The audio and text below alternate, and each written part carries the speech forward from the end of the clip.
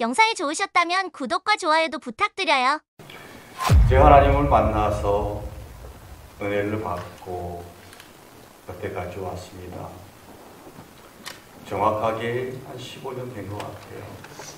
하나님 모르기 전에는 불교 집안에서 불교를 숭상했고 그리고 스님이 되려고 했던 사람입니다. 하나님 만나니까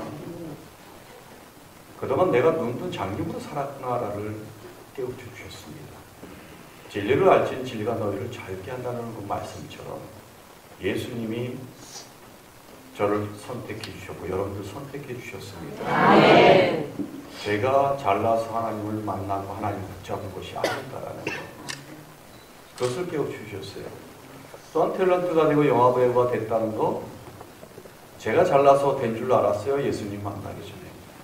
또 예수님 만나고 나니까 눈꺼풀을 벗겨주시면서 깨우쳐 주시는 거. 내가 곧 길이요 진리요 생명이라는 말씀 그것을 깨우쳐 주시는데 탤런트가 될 수 없는 사람이었습니다. 영화배우가 될 수 없는 사람이었어요. 제 동창들이 똑같이 하는 말이 탤런트가 됐다, 영화배우가 됐다. 똑같이 하는 말이 그겁니다.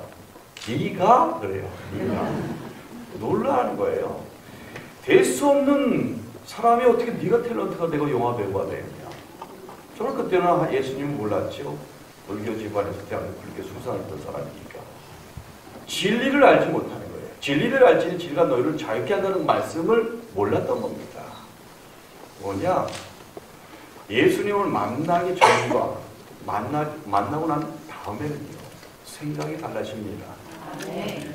그리고 그동안 알았던 모든 것이, 아, 아는 게 아니었구나. 진리도 아니었고, 잘못 알았구나. 이것을 알게 되더라고요. 어렸을 적에 다섯 살, 여섯 살까지 말을 잘 못했던 사람이에요. 친구, 아버지 친구분이 놀러 오셔서 늘 놀려대셨죠. 에베베, 에베베, 에베베. 그렇게 말을 잘 못했던, 말이 어눌했던 사람이에요. 학교 들어가서도 그 후유증이 있었죠. 그러니까 말을 잘 안 하려고 했죠. 뭐 학교를 다니면서 언어도 배우고 한글도 배우고 그러면서 말은 하지만 자신감이 없었습니다. 어디 뭘 하라면 하지는 않았어요. 초등학교 때 선생님이 연극을 할 테니 심청전 할 테니 저 제가 뭘 하나 맡겨주시는 거예요. 못한다 그랬어요. 못합니다. 전 못해요. 못해요. 못해요. 그러던 사람입니다. 그런 사람이 어떻게 탤런트가 됐을까요? 어떻게 영화배우가 됐을까요? 하나님이 하게 하신 겁니다. 지나고 나니까 아는 거예요. 예수님을 만나고 인격적으로 만나고 눈물 콧물 다 짜고 회개가 이루어지고 그런 다음에 너 이렇게 못난 사람이었단다. 근데 내가 너를 쓰기 위해서 탤런트가 되고 영화 배우가 되게 했단다라는 걸 깨우쳐 주시는 겁니다. 아멘. 우린 잘난 거 하나도 없어요. 아멘. 진리의 성령이 임하시면요 밝히 보여주십니다. 다 아멘. 가르쳐 주십니다. 아멘. 저는 예수님을 만나고 난 다음에 제 자신이 얼마나 초라하고 얼마나 작은 자였고 티끌만도 못한 그리고 죽으면 지옥 갈 수밖에 없는 그런 아주 작은 자였다는 걸 하나님께 주셨어요. 우리는 그리고 탤런트가 되고 영어배우가 되면서 예수님 만나기 전에는 그냥 제가 잘난 줄 알고 교만하게 살았습니다. 멋대로 살았어요. 근데 예수님 만나고 나니까 잘난 거 하나도 없죠. 하나님이 다 주십니다. 그리고 낮아져야 하나님의 능력을 알고 하나님이 얼마나 이 천지에 창조하신 분이 얼마나 대단하고 위대한지를 깨우쳐 주시는 거예요. 그리고 저와 여러분들 지으셨다는 것도 깨우쳐 주시고요. 진리를 알지니 진리가 너희를 자유케 한다는 말씀이 이루어지고 이 성경이 32,500개 약속의 말씀을 하나하나 깨우쳐 주십니다. 그대로 다 이루어 주셨어요. 만나면서 하나님이 깨우쳐 주신 것은요. 아, 이 세상은 혼자 살 수 없는 곳이구나. 하나님이 지으셨고 하나님이 이 땅에 보내주셨으니까 하나님과 함께 동행하는 삶을 살지 않으면 우리는 실수하고 넘어지고 지옥으로 갈 수밖에 없구나. 이걸 깨우쳐 주신 것입니다. 그리고 저를 하나님 때에 불러주셨어요. 근데 저는 지난 과거를 보니까 얼마나 많이 저를 불러주셨는지 모릅니다. 군대 가서도 그리고 탤런트 돼서도 하나님 계속 부르셨던 거예요. 사람을 통해서 하나님이 역사하셔서 저를 불러주신 거예요. 여러분들도 마찬가지입니다. 날 때부터 하나님을 믿는 게 아니에요. 하나님 누군가를 통해서 여러분들에게 전도하고 여러분들이 교회에 오게 된 겁니다. 저 또한 마찬가지예요. 제가 15년 전에 2004년도입니다. 미국에 전혀 알지 못하는 분. 그때 SBS 청년을 아침 드라마 주인공 할 때 촬영 준비하고 방송국으로 갔습니다. 소포가 날라왔어요. 전혀 모르는 분이에요. 미국 뉴저지예요. 전혀 알지 못하는 분인데 소포가 날라왔길래 바로 뜯어봤습니다. 그 안에는 책과 책 두 권과 편지가 있었습니다. 편지를 뜯어봤어요. 딱 뜯어서 보니까 네 장의 편지였는데 내용이 이런 내용이었어요. 이진우 선생 나는 미국에 사는 74살 된 박형자 권사라고 합니다. 권사가 뭔지도 몰랐어요. 권사가 뭘까? 근데 그때 말씀을 먼저 주셨어요. 저는 시내가의 시분나무가 시조를 쫓아 과실을 맺으며 그 잎사귀가 마르지 아니함 같으니 그 행사가 다 형통하리로다. 아멘. 시편 1편 3절의 말씀이에요. 이게 무슨 내용이야? 모르죠? 하나님을 영접하지 않고 하나님을 모르는데 이 말씀이 무슨 말씀인지 전혀 알 수가 없는 것입니다. 저와 여러분들은 선택받은 사람들이에요. 너희를 택하신 족속이여 왕같은 제사장이여 그의 거룩한 나라여 그의 소유된 백성이라고 하시면서 하나님 선택해 주셨고 하나님 부르셨다는 것. 이것은 어마어마한 큰 사건이고 가장 큰 축복의 말씀인 것입니다. 우리가 선택한 것이 아니고 하나님이 저와 여러분을 선택해 주셨다는 것. 아멘. 그것을 하나님 깨우쳐 주시는데 말씀을 봤을 때 하나님 깨우쳐 거예요. 아멘. 말씀이 곧 하나님이시죠. 하나님이 대초에 이 말씀을 만드셨고 지으셨어요. 이 대초에 하나님이 천지를 창조하셨느니라. 그 말씀은 곧 하나님과 함께 계셨고 그 말씀이 곧 하나님이시니라. 아멘. 그가 하나님과 함께 계셨고 만물이 그로 말미암아 됐으니 모든 것이 지은 것이 하- 그가 없이는 된 것이 없느니라라고 말씀하십니다. 아멘. 말씀으로 천지를 창조하셨고 저희 여러분들 지으신 그 하나님이 저와 여러분들을 불러주셨고 제가 그것을 하나님이 깨우쳐 주셨을 때는 아 내 인생 모든 것을 다 걸고 하나님 믿고 살아야 되겠다 이 마음이 제가 가진 게 아니라 제 안에 성령님이 갖게 해 주셨다는 거 아멘. 생각과 마음을 이끌어 주시고 인도해 주시는 거. 저는 제가 하나님을 만나기 전에는 술, 담배를 너무나 많이 했습니다. 죽어가고 있었다는 걸 몰랐어요. 술, 담배로 죽어가는 그 인생이었고, 하나님 아니셨으면 이 자리에 서지도 못하고, 하나님이 천국으로 이끌어 주실 그 기회도 잡지 못하는 것입니다. 하지만 그 한 분, 미국에 전혀 알지 못하는 분이 TV 볼 때 제가 나타나고 하나님의 음성이 들리고 편지 보내라, 보내라고 하셔서 그분이 순종함으로 말미암아 편지를 방송국으로 보내서 제가 그걸 받게 되고 그걸 받고 난 다음에 70일 후에 자다가 새벽 2시 반에 뻘떡에서 딱 앉자마자 입에서 나가는 것이 있습니다. 하늘에 계신 우리 아버지 이름을 거룩하게 합시고 나라에 임합시고 뜻이 하늘에서 이룬 것 같이 땅에서도 이루어지이다. 오늘날 우리에게 일용할 양식을 주옵시고 우리가 우리에게 죄 지은 자를 사하여 준 것 같이 우리의 죄를 사하여 주옵소서. 쥐지 않고 입이 열렸다는 표현이 정확합니다. 나가는 거예요 주기도문이. 어, 어 이게 이게 뭘까? 입은 열려서 주기도문이 나가고 생각은 어 이거 주기도문 같은데 이거 내가 어떻게 할까? 예비하시고 준비하신 야외 일의 하나님께서 하나님께서 저에게 그 모든 것을 준비하셨던 겁니다. 중학교 때 기독교 학교를 다니게 하셨던 거예요. 근데 아멘. 저는 매일 엎드려 잔 기억밖에 없습니다. 너무나 졸려워서 엎드려 잔 기억밖에 없었어요.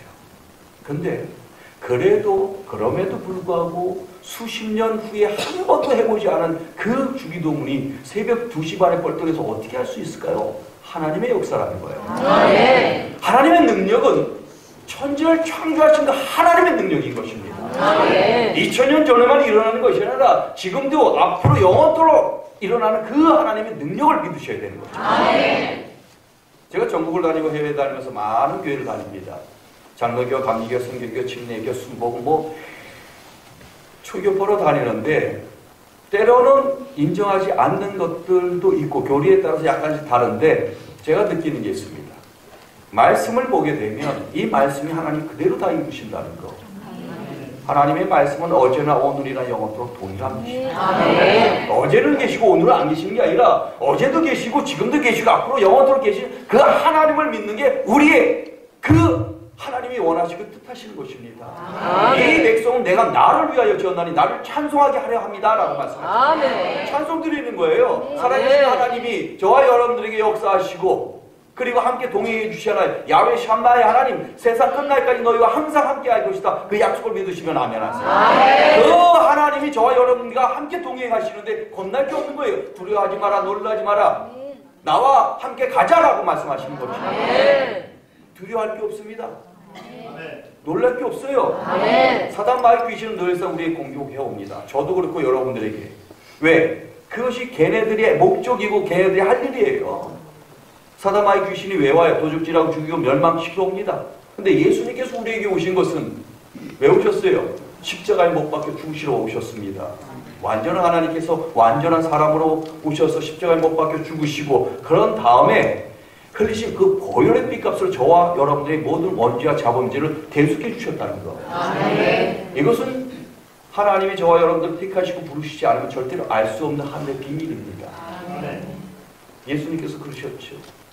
하나님 아버지께서 나에게 보내시지 않으면 올 자가 없다고 말씀하시는 거예요. 아멘. 하나님 아버지께서 우리를 너무나 사랑하시기 때문에 지옥 못 가게 하시기 위해서 이 땅에서도 천국 같이 살고 영원한 천국에서 같이 살자고 저와 여러분들을 택해 주시고 불러 주셨다는 거. 아멘. 그것이 진리입니다. 아멘. 근데 이 진리를 알게 되니까 눈이 떠지는 거예요. 내가 어떻게 살아야 될지, 무엇을 해야 될지 하나님이 저를 이 땅에 보내주셨고 이 땅에서 하나님을 믿고 섬기고 찬양드리고 예배 드리면서 살고 그런 다음에 영원한 천국에서 영원으로 하나님과 함께 동행하고 살자라고 하나님이 저와 여러분을 선택해 주셨다는 이 진리의 말씀을 깨우쳐 주신 것입니다. 아멘. 그때 눈이 떠지는 겁니다. 그때 눈이 떠지더라고요. 아, 이 진리를 왜 모르고 살았을까? 이 미련한 놈아. 그렇게 하나님이 많은 사람을 보내주셨는데 탤런트가 돼서 동기가 성경책 갖다 주고 그래서 교회 나가라 했을 때 야 너나 믿어라고 했던 저 군대 갔더니 또 하나님의 어떤 사람을 보내서 그 대대장님 사모님을 통해서 또 성경을 주세요. 그때도 안 믿었어요. 저를 그냥 서- 주일날 교회를 내려가요. 너무나 가기 싫었습니다. 그냥 마지못해 갔어요. 앉아있다가 도망쳐 나가서 절에 갔던 사람입니다. 그럼에도 불구하고 하나님이 이 못난 저를, 부족한 저를, 지옥 갈 저를 하나님이 건져주시기 위해서 그 미국의 74살 된 박형자 권사님이라는 분, 전혀 알지 못하는 분을 통해서 성, 그 소포를 보내시고 자다가 새벽 2시 반에 일어나서 뻘떡 일어나서 주기도문을 하게 된다는 거. 그냥 있는 일이 아니라는 거죠. 하나님께는 절대로 우연이 없습니다. 아멘. 하나님은 항상 정확한 시간에 정확하게 모든 일을 행하시는 창조주 하나님이십니다. 아멘. 그 하나님께서 제가 못났어도 부족해도 죄인이었어도 하나님 부르시고 택해 주셨다는 게 그게 너무 감사했습니다. 되게 감사해서 그냥 하나님이 하라는 대로 해야 되겠구나. 근데 교회를 나간 지 40일 만에 하나님이 또 역사하셨습니다. 교회 목사님과 집사님들 해가지고 몇 명 오셔서 우리 집에서 신방을 하셨어요. 그리고 신방 끝나고 이따 저녁에 어, 와서 기도를 하래요. 그냥 그냥 건성으로 대답을 했습니다. 근데 시간이 되니까 가기가 싫은 거예요. 비는 주룩주룩 내리죠. 저희가 결혼 하- 하나님 결혼하게 하시고 5월 21일 날 아, 1년 후에, 결혼하고 1년 후에 5월 21일 처음 교회를 나갔습니다. 그리고 40일 후에 6월 29일 날 제가 셈을 해봤죠. 놀래서 셈을 해봤어요. 가기 싫은데 갔어요. 비는 주룩주룩 내리고 나 교회 나갔더니 지하에 조그만 교회예요. 지하인데 거기서 다들 방석에 무릎 꿇고 기도를 하세요. 십자가 빨간 십자가 있고 아 저렇게 하나보다. 그래서 가서 무릎 꿇고 뭐 어떤 기도했는지도 모릅니다. 그냥 아마 하나님을 찾은 것 같아요. 하나님이라고 한 것 같아요. 하나님 그러는데 손이 뻗쩍 올라갑니다. 제가 하는 게 아니죠. 손이 갑자기 뻗쩍 올라가요. 그러면서 눈 감고 기도하는데 환상을 보여주십니다. 우리 집사람이 처음에 딱 나타나요. 머리 위에는 요 정도 굵기의 뱀이 이렇게 또아리 틀고 앞에는 코바라처럼 딱 세워져 있어요. 깜짝 놀랐습니다. 그때는 몰랐죠. 영적인 상태를 보여주신 겁니다. 근데 한 입이 그때 동시에 입이 휙 꼬이는 거예요. 혀, 이 혀가 꼬이면서 이상한 말이 막 나가기 시작합니다. 여러분 뭔지 아시죠? 방언이라는 게 온 거예요. 표적으로 온 겁니다. 혀가 휙 꼬이면서 방언이라는 게막 나가는데 점점 점점 점점 점 커지는 거예요. 엄청 커, 큰 목소리로 나중에 이, 혀, 이 목이 다 쉴 정도로 그냥 막 기도를 하게 하신 거예요. 한참 기도하니까요. 하늘에서 이 정도 굵기의 빛, 이런 빛이 아니죠. 어마어마하게 강한 빛이 우리 집사람 머리 위로 툭 떨어집니다. 떨어짐과 동시에 이 뱀은 온데간데 없어져요. 그리고 천사 같은 모습으로 다 변하고 있고 눈에는 눈물을 주르륵 흘리는 거예요. 희한했습니다. 희한하다. 난 제가 보고 싶어서 본게 아니라는 거죠. 그리고 이제 한참을 기도하고 아 이제 끝났나 보다. 빛이 이제 내려왔고 이제 그 모습을 보여주시고 손을 내려고 하는데 다시 손이 올라갑니다. 그러면서 우리 어머니를 딱 보여주시는데 우리 어머니는 요 정도 굵기의 뱀이 아니라 이렇게 굵은 뱀이 온몸을 칭칭하고 있어요. 한참을 또 기도하게 하십니다. 그랬더니 하늘에서 이렇게 붉은 빛이 또 우리 어머니 머리 위로 툭 떨어져요.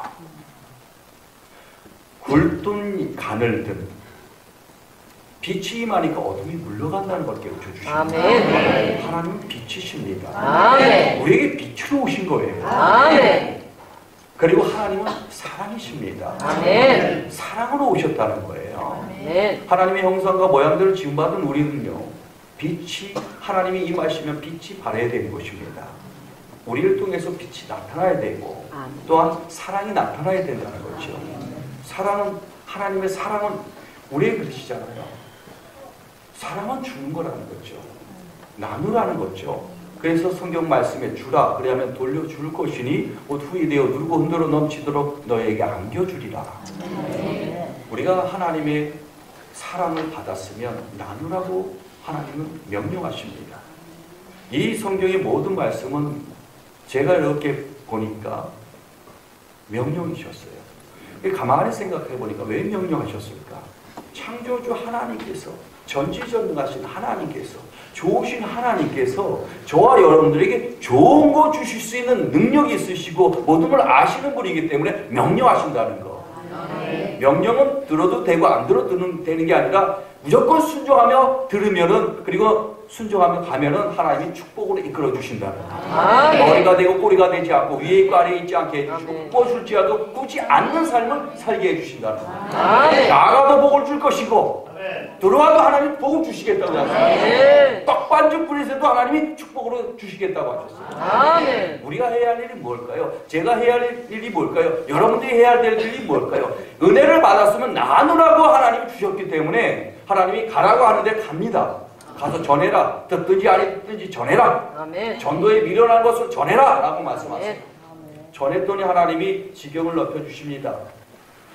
작은 것에 순종하면 큰 것을 하나님 항상 주십니다. 아멘. 작은 것도 충성 안 하면서 큰 것을 받으려고 하냐 책망하시죠. 근데 작은 것부터 하나님이 순종하게끔 하셨어요. 그 순종 순종하니까 말씀을 보니까 순종하면 순종이 제사보다 낫다고 하시고 그리고 하나님이 축복으로 이끌어 주신다는 거 하나님 깨워 주셨어요. 제가 이 환상을 보여주시고 그리고 하나님이 우리 온 가족을 다 빛을 임해 주셨습니다. 우리 처남 아들이 8살 때였죠. 지금은 올해 대학교를 갔습니다. 근데 이 어린 아이한테도 하나님이 기도하니까 뭘 보여주시냐? 머리에 실뱀을 보여주십니다. 그것도 빛이 임하니까 다 없어졌어요. 크든 작든 굵든 가늘든 하나님이 성령이 임하시고 빛이 임하시니까 그 악은 다 넘어가고 다 없어진다는 거죠. 아멘. 우리는 당당해야 됩니다. 하나님의 자녀답게 하나님의 권세를 받았잖아요. 영접하는 자 그 이름을 믿는 자들에게 하나님의 자녀가 되는 권세를 주셨어요. 아멘. 권세가 뭐예요? 하나님의 자녀입니다. 그러면 그 권세가 나타나야 됩니다. 아멘. 또 하나님 그러시죠. 믿는 자들은 이런 표적이 따르니 그들이 내 이름을 귀신을 쫓아내며 새 방언을 말하고 뱀을 집에 올리고 어떠한 독을 마실지라도 해를 입지 아니하며 병자에게 손을 얹는 나이다 그러셨습니다. 믿으시면 아멘 하세요. 권세가 나타나야 되고요. 뱀과 장관을 밟으면 원수의 모든 능력을 제거할 그 능력이 나타나야 된다는 거죠. 우리는 힘이 없어요. 능력이 없어요. 하지만 내게 능력 주시는 자 안에서 내가 모든 걸 할 수 있다는 그 말씀이 이루어지는입니다. 아멘. 저는 아무 능력이 없어요. 하지만 하나님의 능력이 저를 통해서 여러분 통해서 나타나기를 원하시는 거예요. 아멘. 하나님은 좋으신 하나님이시기 때문에 명령하시는 거고요. 좋으신 하나님이기 때문에 독생자 예수님을 보내주셨고, 그리고 우리의 모든 그 원죄와 자범죄를 대속해 주셨고, 그리고 제자 삼아 주셨고, 제자 삼아 주시면서 하나님 우리에게 저와 여러분들에게 맡겨 주신 사명이 있죠. 땅 끝까지 이런 복음을 전하라는 거죠. 그 사명은 해도 되고 안 해도 되는 게 아닙니다. 무조건 해야 되는 거예요. 근데 감사함을 해야죠. 감사함으로. 왜? 제가 죽어가는 영혼이었어요. 하나님 아니셨으면 저 지옥 아래목에 가가지고 그냥 영원토록 그 불구덩에서 그 고통을 받으면서 죽고 싶어도 죽지 못하는 그곳에서 영원토록 있어야 돼요.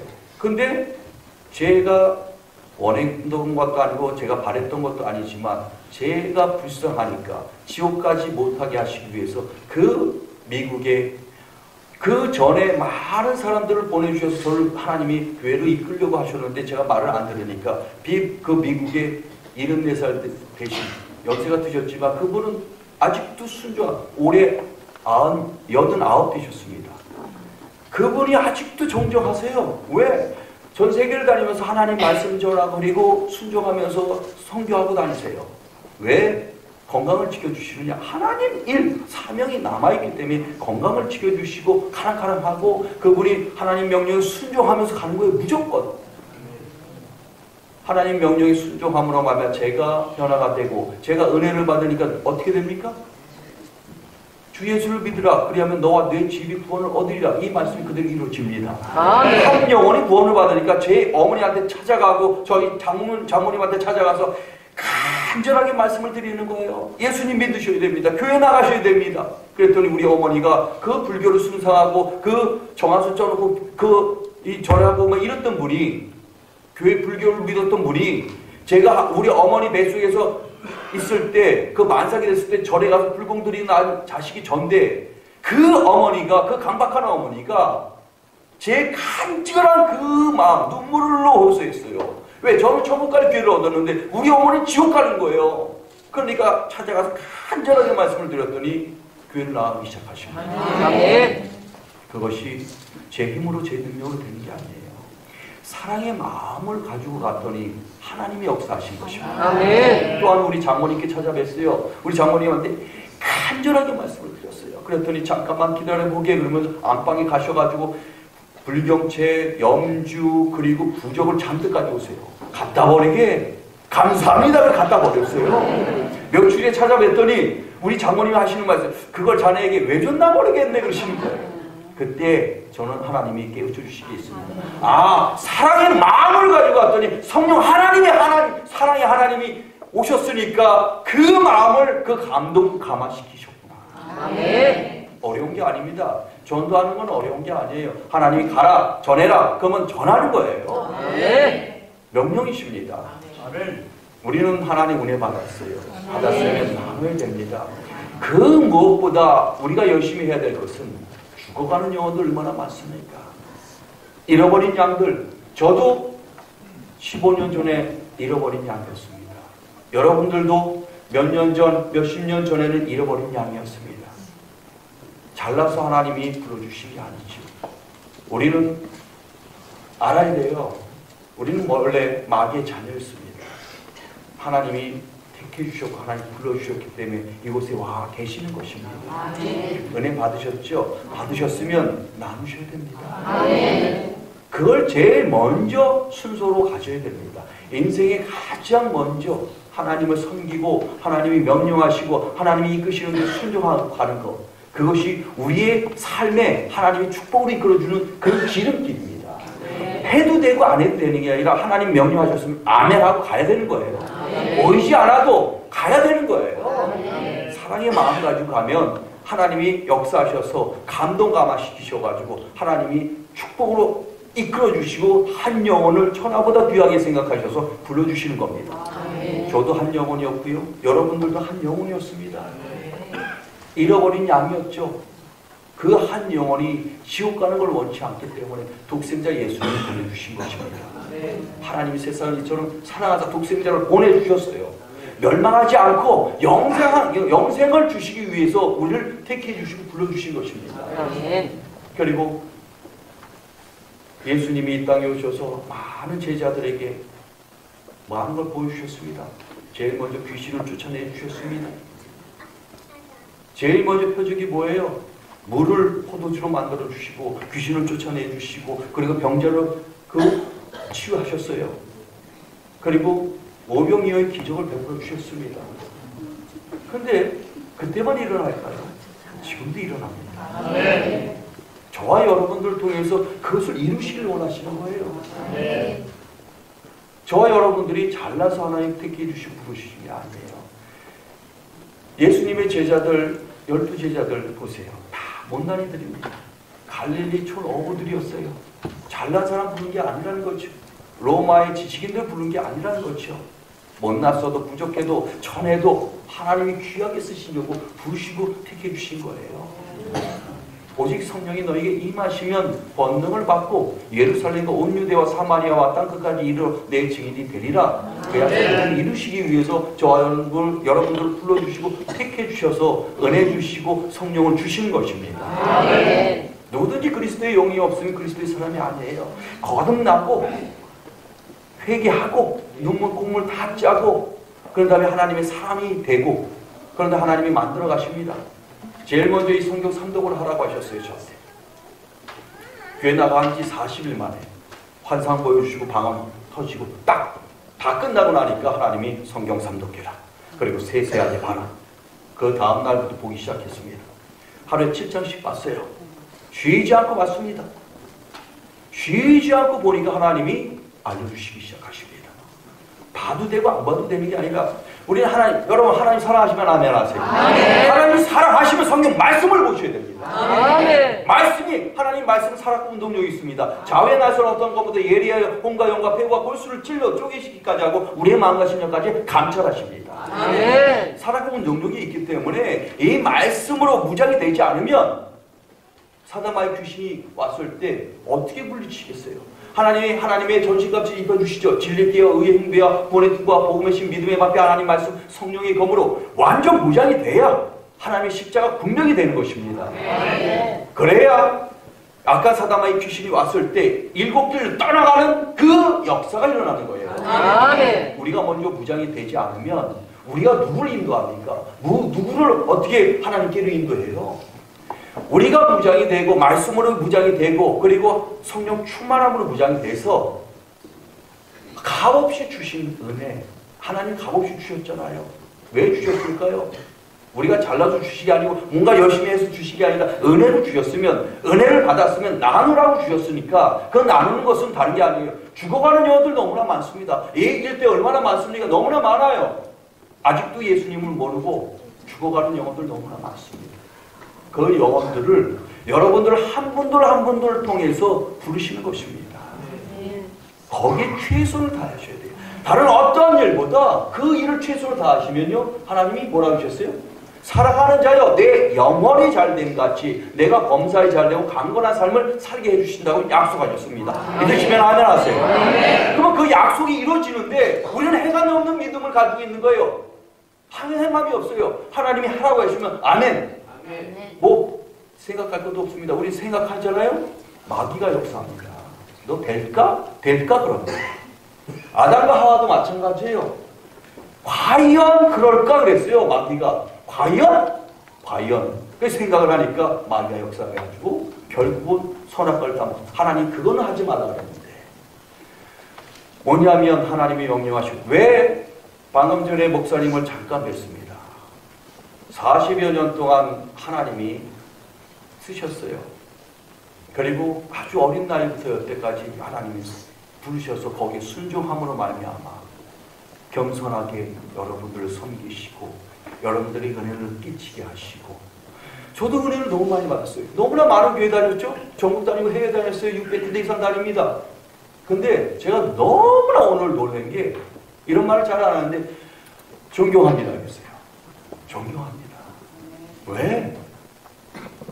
40여 년 동안 그 목회하시면서 얼마나 많은 힘들고 어려운 고난과 고통을 겪으셨을까? 환란을 겪으셨을까? 저는 지금 얼마 안 됐습니다. 근데도 하나님이 쓰시려고 훈련과 연단과 고난과 고통, 환란을 다 겪게 하십니다.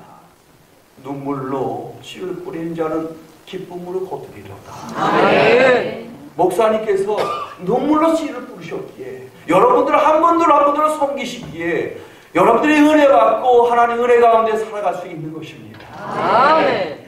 저는 제가 그냥 보고 몇 말씀 몇, 몇 마디 안 했어요. 근데 느껴지는 게 너무나 많았어요. 그냥 존경합니다. 그 오랜 시간 동안, 그 오랜 세월 동안 그 모든 것을 남들이 인정도 안 해주고 세상에서 인정도 안 해주고 그냥 하나님 섬기고 하나님 은혜 받았으니까 해야 할 일이니까 잃어버린 양, 그 잃어버린 양이 지옥 가는 거 원치 않으시기에 하나님께 순종하고 여러분들을 양육하시고 주시는 말씀을 선포하시면서 여러분들이 순종함으로 말미암아 많은 축복을 받게 되고 변화가 되고 그것을 여러분들이 본받고 가셔야 됩니다. 그리고 여러분들이 하셔야 될 게 뭐냐? 잃어버린 양들이 얼마나 많습니까? 아직도 주위에 많습니다. 저는 제가 우리 어머니와 우리 장모님 하나님이 역사하셔서 교회를 나- 나가시고 은혜를 받으십니다. 지루야 이렇게 좋은 걸 왜 진작 몰랐냐? 고맙다. 고맙다. 뭐냐? 하나님은요. 저와 여러분들이 잘나서 부르신 게 아니잖아요. 주신 은혜 왜 주시겠어요? 모든 기적 왜 베풀어 주시겠어요? 모든 병을 왜 치유하시겠어요? 모든 문제 왜 해결해 주시겠어요? 나는 살아있는 하나님이라는 것을 하나님이 깨우쳐 주시는 것입니다. 아멘. 그러면 알았으면 하나님의 그 전지전능함을 알았으면 은혜를 알았으면 사랑을 알았으면 우리가 해야 할 일은 나눈 것입니다. 아멘. 그냥 여기서 우리만 은혜 받고 사는 건 얼마나 이기적이에요? 아닙니다. 그걸 위해서 주시는 게 아니라는 거예요. 저와 여러분들을 통해서 또 다른 잃어버린 양, 아직도 지옥 갈 그 영혼들, 그 영혼들에게 가서 전하라는 거예요. 전하면 됩니다. 사랑의 마음 가지고 전하면 하나님이 역사하십니다. 하나님의 일은 절대로 어려운 게 아니에요. 왜 하나님이 저와 여러분들을 수고하고 무거운 짐진 자들아 다 내게로 오라 내가 너희를 쉬게 하리라 왜 그러셨겠어요? 쉼을 주시기 위해서 우리 혼자 저 혼자 여러분 혼자 이 세상을 살아갈 수 없기 때문에 마귀의 공격이 너무 강하기 때문에 지옥 갈 수밖에 없는 영혼을 하나님이 지켜주시고 보호해 주시기 위해서 예수님이 다 이루시고 그리고 보혜사 성령님을 우리에게 보내주셨잖아요. 제자들에게 보내주셨잖아요. 기도하고 기다려라 라고 말씀하셨어요. 기도하면서 기도하고 기도하렸더니 하나님이 성령을 주셨잖아요. 오순절에 마가의 다락에 성령이 임하시니까 바람처럼 불의 여처럼 임하시니까 능력이 나타납니다. 권능이 나타납니다. 지혜가 나타납니다. 지식이 나타납니다. 총명이 나타납니다. 하나님의 역- 성령이 성령 하나님이 임하시니까 그 총무실의 이들이 지혜의 사람이 됩니다.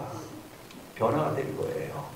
그리고 능력이 나타났잖아요. 성전 미문에 앉아 있는 날 때부터 그 앉은 뱅이가 그 베드로에게 성령이 임하시니까 내게 은가금은 없어도 내게 있는 이것으로 나선 예수의 이름으로 일어나 걸어라. 아멘. 일어나 걷기 시작합니다. 기적이 일어나기 시작합니다. 저와 여러분들 통해서 기적을 베푸시길 원하시는 거예요. 아멘. 2000년 전에만 일어나는 것이 아니라 지금도 일어나고 앞으로 일어날 것입니다. 아멘. 그 하나님이 저와 여러분들 들어 쓰시기 위해서 은사를 주시잖아요. 지식의 말씀이 하사 지혜의 말씀이 하사 믿음의 은사 병 고치는 은사 그리고 하나님이 그 이 모든 것을 다 하나하나 다 주시는데 하나씩 주시지 않아요. 몇 개씩 주십니다. 아멘. 그러면 몇 개씩 주시면 알아내죠. 이 말씀을 보면 알게 됩니다. 아, 나에게 어떤 은사를 주셨구나. 그리고 기도하면 하나님이 알려주세요. 어떤 은사. 저도 마찬가지입니다. 제가 몰랐어요. 아, 예수님을 만나고 성경 말씀을 보고, 말씀을 보고, 말씀 매일매일 칠짝씩 보니까 6개월이면 1독을 하는데, 어느 날은 새벽에 촬영, 촬영장 가서도요, 성령 하나님 임하시니까 처음엔 몰랐습니다. 그냥 예수님 얘기밖에 안 해요. 예수님, 예수님 믿으세요. 교회 나가세요. 교회 나가시고 예, 예수님 믿으세요. 이 얘기밖에 안 하더래요. 제가요. 또 어떤 분이 그러세요. 촬영장 와서 야, 야, 야, 그만해. 나도 교회 나가. 왜 이렇게 유별나라 너는 왜 이렇게 유별나 그래요. 그래서 내가 유별난 건가? 아닌데 그냥 그냥 그냥 전하는 거예요. 그냥. 근데 제 안에 성령님이 하셨던 거예요. 아멘. 그냥 전해요. 그런 욕도 맞고요. 욕도 먹고 핍박도 받고 조롱도 받습니다. 근데 그래도 저한테 중요한 건 예수님이 하나님이셨어요. 아멘. 왜? 저 생사화복 주관하시는 게 하나님이시라는 걸 깨우쳐 주셨고요. 아멘. 여러분들 생사화복 주관하시는 게 누구세요? 하나님이십니다. 아멘. 그러면 제일 먼저 찾아야 될 분이 누구십니까? 하나님이에요. 아멘. 하나님이에요. 그 우리는 뭐라 그러죠? 예수님 뭐라 그러죠? 주여 그러잖아요. 우리의 주인이십니다. 저의 주인이시고 여러분들의 주인이세요. 제가 어느 날 어느 곳에서 어느 신학 대학교에서 초대를 하셨어요. 세미나. 운전하고 가는데 하나님 그러십니다. 누가 주인이냐? 누가 종이냐? 전해라 그러시는 거예요. 깜짝 놀랐어요. 네? 그래서 전했어요. 왜? 저는 가- 어느 교회든 하나님 주시는 대로 전합니다.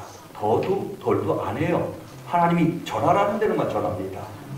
그때 하나님의 역사가 일어나는 거예요. 아멘. 순종함으로 말미암아 받는 축복을 그때 주시는 것입니다. 아멘. 우리는 우리 생각으로 아 할까 말까 아니에요. 하라면 해야 되는 거예요. 아멘. 더 필요 없습니다. 그냥 하나님이 천지를 창조하신 하나님 믿으시면 아멘 하세요. 아멘. 저와 여러분들 지으신 거 하나님 믿으시면 아멘 하세요. 아멘. 그러면 하나님 명령하시면 전해야 되는 것입니다. 해도 되고 안 해도 되는 게 아니에요. 가야 됩니다. 가서 전하라는 거예요. 왜 저와 우리 집사람 항상 같이 다니게 하시냐면 몰랐습니다. 여태까지 600군데 이상을 다닙니다. 각 교회마다 주시는 말씀 다 다릅니다. 처음에 어느 교회를 갔더니 그때는 은혜 받고 뭐 아무것도 모를 때입니다. 어느 교회에서 와달래요. 뭐 간직이라는 걸 해달래요. 그래서 저 기도했습니다. 하나님, 저 잘 모르는데 뭐, 뭐 해야 되나요? 기도했어요. 그랬더니 하나님이 마태복음 5장 그러세요. 그래서 찾아봤어요. 찾아봤더니 팔복의 말씀인 거예요. 팔복의 말씀. 이거 하나님 누구나 다 아는 거 아닐까요? 제가 신약부터 봤거든요. 이거 누구나 다 알겠지. 아 하나님 처음 이왕 처음 교회 이렇게 간증이라는 거 가는데 좀 그럴 듯하고 좀 근사하고 좀 어려운 거 주시지 왜 이렇게 누구나 알 것 같은 걸 주세요. 그때는 이 신앙이 아주 얕았고 밀어내가지고 제가 그거는 그 좋은 말씀을 그냥 다 알 거라고 착각을 했던 거예요. 근데 하나님이 그것 또한 지나고 나서 생각을 해보니까 다 치엄게 해주신 것입니다. 그래서 이제 제가 생각한 나름대로의 준비한 어려운 걸 준비하고 갔어요. 그런 다음에 다 말씀 전하고 그 말씀 게 아니라 간증하고 내려가서 하나님 이제 다 했어요. 그리고 기도하고 딱 거기에 드는데 십자가 양옆에 팔복의 말씀이 붙어 있는 겁니다. 너무 깜짝 놀랐습니다. 제가 전국의 해외 600군데 이상을 다니지만 팔복의 말씀이 양옆에 붙어 있는 건 그, 그곳 한 곳이에요. 너무 놀랬죠. 근데 하나님께는 절대로 우연이 없으십니다. 항상 정확하세요. 두 번째 어느 교회를 와달래요. 어느 교회 하나님 또 기도했어요. 하나님 어느 교회 와달래요. 뭘 전해요? 오늘 전해야 되나? 이제 근데 깨우쳐 주셨으니까 아 이제는 좀 전화하는데 정확하게 전해야 되겠다. 이 마음 딱 가졌어요. 그런 다음에 딱 가려고 기도를 했는데 하나님 주신 말씀은 이사야 1장 12절 그러십니다. 보니까 놀랐어요. 저는 그때까지만 해도 믿음이 얕았고 신앙이 얕았기 때문에 이 책망의 말씀인 거예요. 너희가 얼굴만 보이러 오니 내 마당만 밟을 뿐이니라. 그 제가 생각해도 이거 좀 좋은 말씀이 아니에요. 그때까지만 해도 하나님은 좋은 말씀만 주시는 줄 알았어요. 근데 나중에 알게 됐죠. 하나님이 사랑하시니까 책망하신다는 거예요. 아멘. 히브리서 12장의 말씀이 나와 있잖아요. 사랑하니까 책망하신다는 거예요. 아멘. 사랑 안 하면 안 하신다는 거예요. 저와 여러분도 하나님의 자녀입니다. 하나님의 자녀니까 잘못된 길로 가면 책망하시는 거예요. 아멘. 그것이 사랑입니다. 여러분들 자녀들 잘못된 길로 가면 책망 안 하시겠어요? 채찍 안- 이 맴매 안 드시겠어요? 듭니다. 그거와 마찬가지로 하나님의 형상과 모양대로 지금 받은 우리들은요 똑같다라는 거예요. 하나님도 독생자 예수님을 우리에게 보내주신 것은 우리의 원죄와 자본죄를 대속해 주시기에 보내주셨고 우리가 이 땅에 살면서 마귀를 대적하면서 살아갈 수 있게 당당하게 하나님의 자녀로서 살아가라고 능력 주시고 권세 주시기 위해서 이 땅에 뭐 예수님이 오셨고 그리고 성령님을 보내주신 것입니다. 그 제가 이 진리를 하나님이 깨우쳐 주시고 그런 다음에 하나님이 전하라는데 전하고 그리고 두 번째 그 교회 가서는 너무나 걱정이 되는 거예요. 아니 첫 번째 겪어서 이제 제대로 전해야지 그랬는데 이걸 어떻게 전하라 걱정됐어요. 하나님 이거 어떻게 전해요? 그랬더니 강하고 담대하게 전하라 하시는 거예요. 아, 그래도 걱정돼서 가서도 걱정돼서 또 기도했어요. 하나님 어떻게 해요? 이거 진짜 전해야 돼요. 이거 가, 어떻게 해요? 막 했더니 진짜 한 번도 없이 강하고 담대하게 전해라. 에라 모르겠다 전했어요. 근데 제 예상과는 전혀 다른 일이 일어납니다. 저는 아, 이걸 어떻게 하지? 이걸로 뭘 전하라는 거야? 책망의 말씀인데 그러면서 전했는데 그분들이 은혜 받기 시작하시는 거예요. 아멘. 그때 하나님 깨우쳐 주신 거 뭐냐? 전하라는 대로 전했을 때 하나님의 역사가 일어난다. 아멘. 감동 감화를 주신다. 아멘. 제가 뭐 미사 여구를 붙여서 얘기하는 게 아니라 그렇게 해서 감동 감화가 되는 게 아니라 하나님이 전하라는 말씀대로 전했을 때 성령 하나님이 역사하시고 감동 감화를 주신다는 거예요. 그때 깨우쳐 주셨습니다. 셋째, 세 번째 어느 교회를 갔어요. 어느 교회를 갔는데 하나님 무슨 말씀 전해요? 그랬더니 누가복음 15장 그러세요. 보니까 돌아온 탕자 얘기예요. 그래서 아 이번에는 진짜 확실하게 또 전해 두 번을 겪었기 때문에 확실하게 전해야지. 그리고 이제 딱 갔어요. 근데 딱 올라서려고 그랬더니 강단성에 딱 서려고 그랬더니 목사님이 그때가 주일날 11시 대예배예요. 담임 목사님이 20분만 재미있게 해주세요. 이게 이제 연예인이잖아요. 그러니까 재밌게 해, 해주 길 원하셨던 거예요. 그 다음에는 나머지는 이제 목사님이 이제 설교를 하시려고 하셨던 거죠. 근데 저는 그때는 아무것도 몰랐기 때문에. 아, 20분 동안 어떻게 그동안 만난 하나님을 어떻게 전할까 고민이 돼요. 하여튼 뭐 최대한 노력하겠습니다. 딱 올라섰어요. 올라서 가지고 이제 하나님 말씀 이제 만난 증거를 막 전하는데 저 뒤에는 디지털 시계도 큰 게 있었어요. 그큰 교회였고요. 막 전하는데 20분이 지나, 30분이 지나, 40분이 지나, 그러니까 저 뒤에서. 근데 놀라운 건 뭐냐? 제가 그걸 못 봤습니다. 완전히 성령 하나님께 이, 어, 빠져서 그냥 전하라는 걸 계속 전하는 거예요. 그리고 우리 집사는 여기 서 있었는데 저 뒤에서는 이렇게 하고 난리가 났어요. 걱정을 많이 했죠. 저는 모르고 막 한 시간 내내 다 한 거예요. 그리고 딱 끝나고 이제 생각이 안 나서 이제 다 했나 보다 그런데 이제 웅성웅성거리죠. 웅성웅성거리는데 끝나고 이제 주일 대예배를 11시 예배를 제가 다 한 거예요. 그 내려가는데 어떤 일이 일어나느냐. 저 뒤에서 한 60대 중후반? 중후반 정도 되시는 분이 저를 향해서 막 달려오세요. 어? 내가 너무 많이 했나 보다. 근데 그분이 딱 다가오시면서 제 손을 딱 잡으시면서 하시는 말씀이 고맙습니다. 감사합니다. 눈에는 눈물, 코에는 콧물이 범벅이 되셨어요. 그러시면서 하시는 말씀이 뭔지 알아요? 이런 말씀 하세요. 내가 30년 전에 교회 나와서 하나님의 은혜를 받은 사람입니다. 근데 다시 세상으로 돌아갔습니다. 하는 모든 사업 다 안 됐습니다. 다 망했습니다. 30년 만에 오늘 처음 다시 교회에 왔습니다. 아멘. 그때 하나님이 깨우쳐 주신 건 그거예요. 한 영혼을 천하보다 귀하게 생각하시다. 아멘. 저도 한 영혼이고 여러분도 한 영혼입니다. 아멘. 그리고 그 한 시간 내내 그한 분을 위해서 제 눈을 가리시고 제 입을 열어서 사용하셨던 것입니다. 깨우쳐 주시는 게 뭐냐? 여러분들 한 분들 한 분들은 그렇게 소중히 생각하신 하나님. 그래서 독생자 예수님을 보내주신 겁니다. 아멘. 그 채찍도 맞으시고 침도 맞으시고 그 전지전능하신 완전한 하나님께서 그걸 다 겪으셨던 거.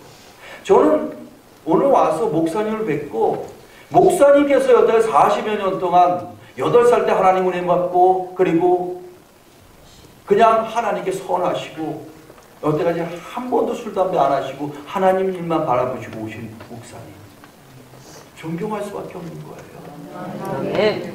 저는 세상 한가운데 살고 술, 담배를 어마어마하게 했던 사람입니다.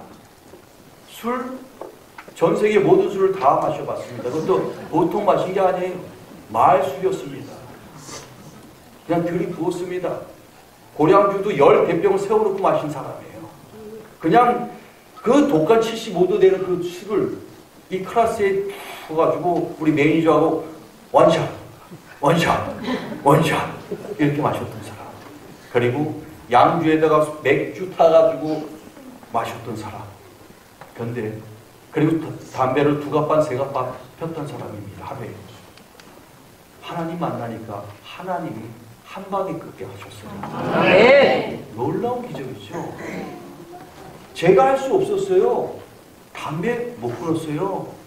술 못 끊었어요. 근데 하나님이 한 방에 끊게 하셨어요. 아멘. 그게 하나님의 능력이십니다. 아멘. 그러면서 하시는 말씀이 네 몸이 성전이다. 왜 거기다 독약을 들이고 굴뚝을 대느냐? 나는 네가 건강하길 바란다 그랬어요. 저는 그때 어, 내가 뭐 잘못 들었나 보다 그랬어요.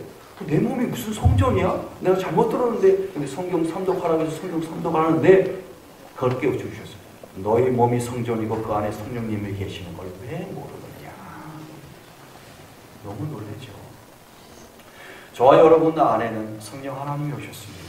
아멘. 그럼 성령 하나님을 인정하고 환영하고 모셔드리고 그 다음에 해야 할 일이 뭘까요? 의지해야 된다는 거죠. 우리가 할 수 없는 일이 너무나 많습니다.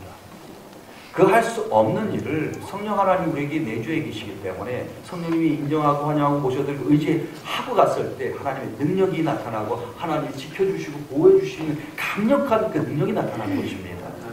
저는 이것을 하나님이 성경 말씀을 보라고 하셨을 때 그걸 깨우치게 하신 거예요. 저는 이런 기도를 했습니다. 하나님 좀 비련하고 무지해요. 하나님 말씀 보고자 해요. 보여주세요. 그래도 보여주십니다. 그리고 알게 해주세요. 알려주십니다. 깨우쳐 주세요. 깨우쳐 주십니다. 하나님 이 말씀을 제 마음 안에 새겨주세요. 그리고 영원토록 지워지지 않게 해주시고요. 그리고 하나님을 위해서 이 말씀이 생각나게 해주세요. 이 기도를 하면서 하- 하게 하셨어요. 그랬더니 하나님 볼 때마다 그랬더니 하나님 그대로 이루어주십니다. 놀라워요. 너의 기도대로 될지어다 그대로 이루어주시는 거예요.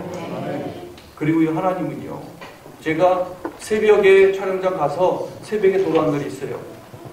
눈은 반 이상 감깁니다. 육신의 몸이 약하기 때문에 반 이상 감기는데 너무 피곤하죠?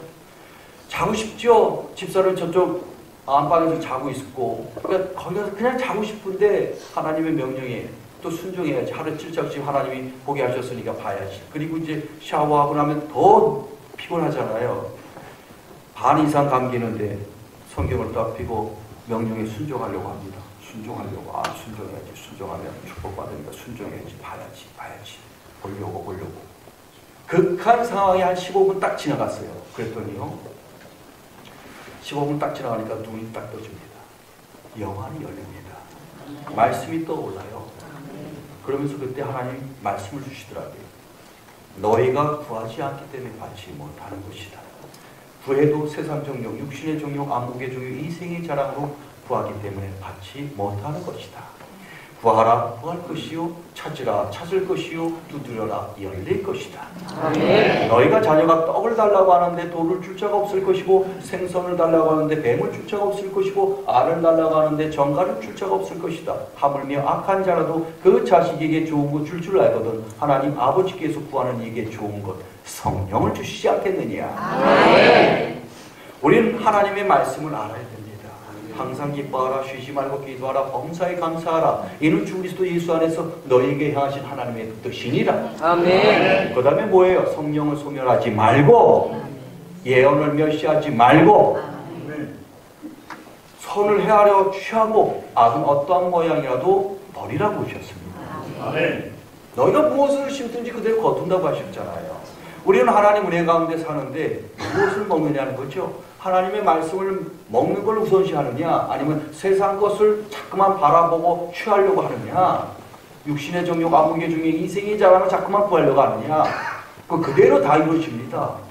이걸 먹게 되면 점점 점점 자라나요. 하나님께서 부르셨는데 그 뜻대로 가지 않고 말씀을 보지 않고 말씀을 먹지 않으니까 세상 쪽으로 갈 수밖에 없는 거예요. 그러면 세상 쪽으로 가면 어떻게 돼요? 죽음밖에 없습니다. 멸망밖에 없다라는 거예요. 근데 예수님은 살려주시잖아요. 생명을 주시잖아요. 말씀이 육신이 돼서 오신 그 예수님을 먹어야 된다는 거예요. 말씀을 먹어야 된다는 거예요. 그것이 신앙 성장이 되는 것입니다.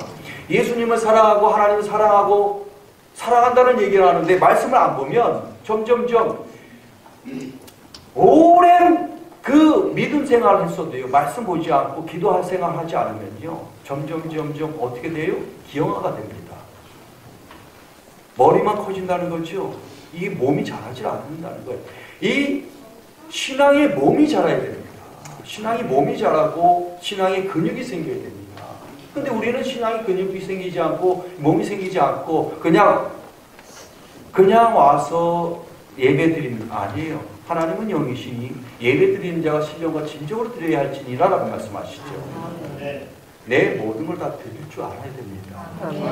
예배 드리러 올 때는 모든 것이 깨끗한 상태에서 기도를 해야 됩니다.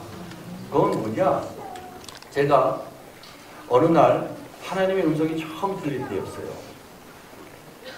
제가 듣고자 해서 들린 게 아니에요. 어느 날 교회를 이제 가야 되기 때문에 그냥 아, 일어나서 대충 옷 입고 나가는데 앞방에서 나가는데 음성이 들리는 거예요. 옷 갈아입고 가야지. 그래서 깜짝 놀랐습니다. 내가 뭐 잘못 들었나? 어디서 나는 소리지? 아무리 봐도 안 보여요. 어, 왜 잘못 들었겠지? 그리고 나가는데 한 번 더 오시. 옷 갈아입고 가야지. 그시. 깜짝 놀랐습니다. 두 번째 들릴 때는 저도 모르게 옷을 막 벗고 있는 거예요. 막 벗고 옷을 가, 속내기까지 다 갈아입었어요. 야, 이게 뭔 일이냐? 아, 내가 뭐 잘못 들었겠지. 옷은 갈아입고서 또 잘못 들었다는 거예요, 저는요. 그리고서 나가려고 하는데 또, 하- 또, 이, 이제는 다른 말이 들리는 거예요. 씻고 가야지. 저는 너무나 깜짝 놀랐습니다. 같은 말만 반복을 하셨으면, 저, 아이, 잘못 들었겠지 갔을 텐데, 이번엔 다른 말씀 하셨 씻고 가야지 그러신 거예요. 나가다가, 예? 그랬어요. 예? 너무 놀랐어요. 예? 그때 한번더 오시면, 씻고 가야지 그러신 거예요. 그 음성은 뭐라 뭐 표현을 못, 잘 못하겠어요. 그냥 너무 온화하고 너무 부드럽고 뭐 이런 어떤 느낌? 근데 이런 육성은 아니었어요. 하여튼 하여튼 음, 이 음성이었어요. 그래서 근데 그 말씀이 또 떨어지자마자 옷을 막 벗고 있어요. 제가 벗고 야 이게 뭔 일이냐? 이게 뭔 일이냐? 그리고서 이제 샤워장에 딱 욕실에 가가지고 샤워를 틀어놓고 야 내가 요즘 기가 좀 쇠했나 보다. 이 환사, 환청을 다듬네. 내가 환청을 다듬네 그랬어요. 제가 환청을 다듬네. 아, 이제 영양식도 좀 먹고 그래야지. 샤워를 이제 뭐 다 빡빡빡빡 닦고, 닦고, 구석구석 닦고 그러더니 속내에 갈아입고 딱 나왔더니 하시는 말씀이 하나님 그시더라고요. 나한테 올 때는 네 몸과 마음이 깨끗해야 된다. 아멘. 그때는 믿음이 아주 얕았고 신앙이 어린아이 같은 수준이었기 때문에 그 명령이 그냥 매일매일 순종했어요. 그러니까 순종이 뭐냐면 순종이 제사보다 우리가 알아듣든 못 알아듣든 하나님이 하라시면 그냥 하세요. 최선을 다하세요. 그것이 믿음입니다. 아멘. 근데 그걸 깨우쳐 주신 게 언제냐? 제가 매일 은혜 받으면 매일 교회에서 삽니다. 그냥 너무 좋으니까 하나님 찬양 드리고 예배 드리고 너무나 좋으니까 그냥 매일 교회 나가는 거예요. 매일 교회 나가서 기도하고 찬양 드리고 예배 드리고 너무나 좋아가지고요. 그것이 은혜 받은 진짜입니다. 그럴 수밖에 없어요. 그냥 갈망하고 원하고 바라니까 하나님이 계속 은혜 주시려고 말씀 듣게 하죠. 믿음은 어디서 나요? 들으면서 납니다. 들으면 그리스도의 말씀으로 말미암아. 그러니까 하나님은 말씀을 주시고 은혜 주시고 그리고 계속 은혜 주시니까 막 신나는 거야. 아, 이 세상 나 혼자 사는 게 아니구나. 하나님이 함께 동행해 주시는구나. 세상 끝날까 함께 동행해 주시는 그와 같이 내버려 두시지 않고 항상 너희와 세상 끝날까지 함께 함- 할 것이다. 항상 함께 할 것이다. 그 약속을 믿으시면 아멘 하세요. 그 하나님이세요. 그리고 저와 여러분들 위해서 예비하신 모든 게 있습니다. 야베 이대 하나님 준비하시고 예비하셨잖아요. 은혜 주시고 축복 주시고 너무나 많아요. 어마어마합니다. 우리 감히 생각하지도 못해요. 그래서 또 말씀을 주십니다. 그 야베 이대 하나님 준비하시고 예비하신 그 하나님 하나님이 자기를 사랑하는 자를 위하여 예비하신 모든 것은 눈으로 보지 못하고 귀로도 듣지 못하고 사람의 마음으로 생각하지 못함과 같으니라라고 말씀하세요. 그러니까 우리는 우리의 생각으로 뭘 기대하는 게 아니라 그 훨씬 이상으로 저와 여러분들을 위해서 준비하신 모든 것은 어마어마하다는 거예요. 그 제가 그래서 이제 그렇게 해서 아 그리고서 매일 속내일 교회 갈 때마다 속내일 갈아입고 옷 갈아입고 이렇게 다녔어요. 우리 집사람이 그때 막 세탁기 엄청 돌렸습니다. 예? 매일 뭐 몇 번씩 돌리고. 근데 뭐참 놀라운 거는 제가 순종하는지 안 하는지 그걸 보시고 계셨어요. 하나님은 안 보시는 것 같죠? 다 보고 계십니다. 명령하시면 다 보고 계세요. 숨긴다고 숨겨주지 않아요. 어느 날이요? 참 너무나 감사한 게 라면을 너무나 좋아했던 저예요. 저에게 안 좋은 건 다 못하게 하셨습니다. 어느 날 라면을 딱 끓이려고 물을 딱 앉혀놓고 라면 딱 집어넣고 이제 수익해가지고 예, 끓이고 딱 부어가지고 다 먹으려고 하는데 웬만하면 먹지 마라 하시는 거예요. 그러니까 제가 하나님이 술 가운데 그런 게 하셨죠. 뭐, 못하게 하는 게 너무 많으세요. 저한테 안 좋은 거예요, 다. 다 안 좋은 거였어요. 그래서 제가, 아이, 하나님 왜 이렇게 못하게 하는 게 많아요? 몰라요, 몰라요. 먹을게요, 먹을게요. 먹을래요. 그리고 먹었어요. 막 먹었습니다. 국물이 또 짱이잖아요. 제일 맛있잖아요. 국물 탁 데이키고 딱 내려놓는 순간, 어? 막 화장실 갔어요. 화장실 가가지고 딱 앉자마자 뭐 창피한 얘기지만 설사하지 않겠어요. 오, 이게 뭐야 도대체? 깜짝 놀랐어요.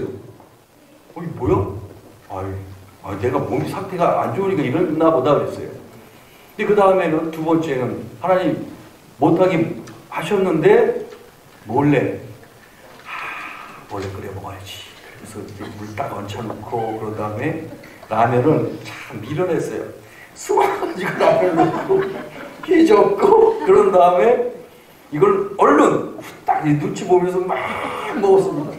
국물 딱 먹고 내려놓자마자 5분 후도 아니에요. 바로 화장실 가서 또 설설 쫙 했어요. 그때는 너무 놀랐죠. 한 번이 아니고 두 번이나 그러니까 이야 이게 뭔 일이냐 도대체? 그 두 번씩이나 하나님 체험시켜 주셨으면 세 번째는 하지 말아야 되잖아요. 세 번째 또 끓여놓고 아, 그때는 제가 아, 하나님 시험했어요. 시험하면 안 되는데 내가 세 번째 또 먹고서 설사하면 이제 안 먹어야지. 하고 이제 먹었어요. 먹고 이제 딱 국물 먹고 내려놓자마자 바로 화장실 갔습니다. 또 역시나 설사했어요. 하나님 깨우쳐 주시는 거죠. 미련하니까. 그렇게 해서라도 깨우쳐 주시는 겁니다. 너무나 미련하고 여러분들도 한번 가만히 생각을 해보세요. 하나님 못하시는 게 하는 게 얼마나 많습니까? 왜? 건강을 지켜주시는 좋으신 하나님. 계리어 진료 생명이신 그 하나님. 길로 인도해 주시고 진리를 깨우쳐 주시고 새 생명을 주시기 위해서 막으시고 못하게 하신다는 것 감사밖에 없습니다. 우리는 아왜 하나님 이거 나 하나님 믿는데 왜 이렇게 안 돼요? 이런 말 할 자격이 없어요. 그런 말 하기 전에 생각을 해봐야 됩니다. 좋으신 하나님 믿으시면 하나님. 그 하나님이 안 되는 길, 나쁜 길, 지옥 가는 길, 남도록 길 막아주시는 거예요. 감사밖에 없다는 거예요. 제가 그때 마지막으로 먹고서 설사 딱 하고 하나님 그러시더라고요. 나는 네가 건강하고 그리고 살아있는 음식을 먹기를 원한다. 얼마나 감사합니까? 제가 군대에서 무좀이 분할을 시키고 무좀이 생겨서 무좀이 있었어요. 그리고 티눈이 있었습니다. 하나님 만나니까요. 제 구석구석을 다 하나님이 씌워주시더라고요. 너무나 감사한 거예요. 하나님은 큰 은혜만 주시는 게 아니라 작은 것부터 큰 것까지 다 주시는 거예요. 여러분이 낱낱이 하나님께 기도하고 하나님께 바라세요. 그래 하나님 뜻대로 사세요. 거룩의 모양은 있으나 거룩의 능력이 나타나지 않는 사람이 있습니다. 왜 안 나타날까요? 왜 모양만 있을까요? 하나님 뜻대로 살고자 하고 하나님 뜻대로 살아야 되는 거예요. 근데 때론 실수하죠. 때론 넘어지죠. 저도 실수도 하고 잘못도 저지르고 하나님 원하시는 대로 안 할 때도 많습니다. 그때마다 기도해요. 회개합니다. 잘못했어요, 하나님. 하나님 용서해 주세요. 왜? 우린 연약해요. 저나 여러분 다 연약합니다. 근데 너무나 좋으신 은혜의 말씀이 뭔지 아세요? 회개하라예요. 예수님의 첫 말씀이 회개하라잖아요. 회개. 회개하면 다 씻어주시는 거예요. 예수님이 다 해주셨고 그 회개를 통해서 지난 과거의 죄, 지금 지은 죄, 앞으로 지을 모든 죄를 다 하나님이 씻어주신다는 거예요. 너희의 죄가 주어가지 물끝이라도 눈과 같이 희어질 것이다. 너희의 죄가 진어가지 물끝이라도 양털같이 희게 되리라. 회개하라. 그거 시작입니다. 깨끗이 씻음을 받고 회개하고 난 다음에 하나님께 기도해야 되는 거예요. 왜 구약의 성전이 물두멍부터 있겠어요? 그것이 신약의 모형이기 때문에 우리가 회개를 해야 되는 거예요. 깨끗이 씻으라는 거예요. 깨끗이 정갈한 상태에서 하나님을 만나라는 거예요. 너무나 좋으신 하나님이죠. 회개하라는 말씀은 은혜 중에 은혜 중에 말씀이고 그런 축복 중에 축복의 말씀인 것입니다. 이것을 하나하나 깨우쳐 주시는데 그때는 뭣도 모르고 매일 옷, 옷 갈아입고 막 이랬어요. 근데요, 제가 참 놀라운 건 하나님이 예비하신 게 뭐였냐? 저는 뭔가를 바라고 한게 아니에요. 하나님 명령이 그냥 하나님 명령이니까 그냥 매일 성경 삼독하고 그랬더니 성경 삼독가 6, 6개월에 7도 하니까 하루에 7, 7도 하니까 6개월이면 1도 가죠. 1년 반도 쉬지 않게 봤죠. 쉬지 않고 보니까 하나님이 강하게 또 역사하시고 알려주시는 게 너무나 많았어요. 그리고 또 성경 선독이 끝나니까 세세하게 보라고 명령하셨기에 어떻게 해야 되지? 우리 집사람한테 물어봤더니 우리 집사람이 써 그래요. 아 쓰면 되겠구나. 필사를 시작합니다. 필사를 하는데 쉽지 않아요. 하지만 하나님의 명령이니까 명령에 순종하면 축복받는 걸 하나님 깨우쳐 주셨기 때문에 또 쓰는 거예요. 너무 막 힘들어요. 힘든데 막 털면서 계속 씁니다. 계속. 근데 성경 필사가 끝날 무렵 네. 꿈으로 조영기 목사님 보여주셨어요. 제가 찾아뵙습니다.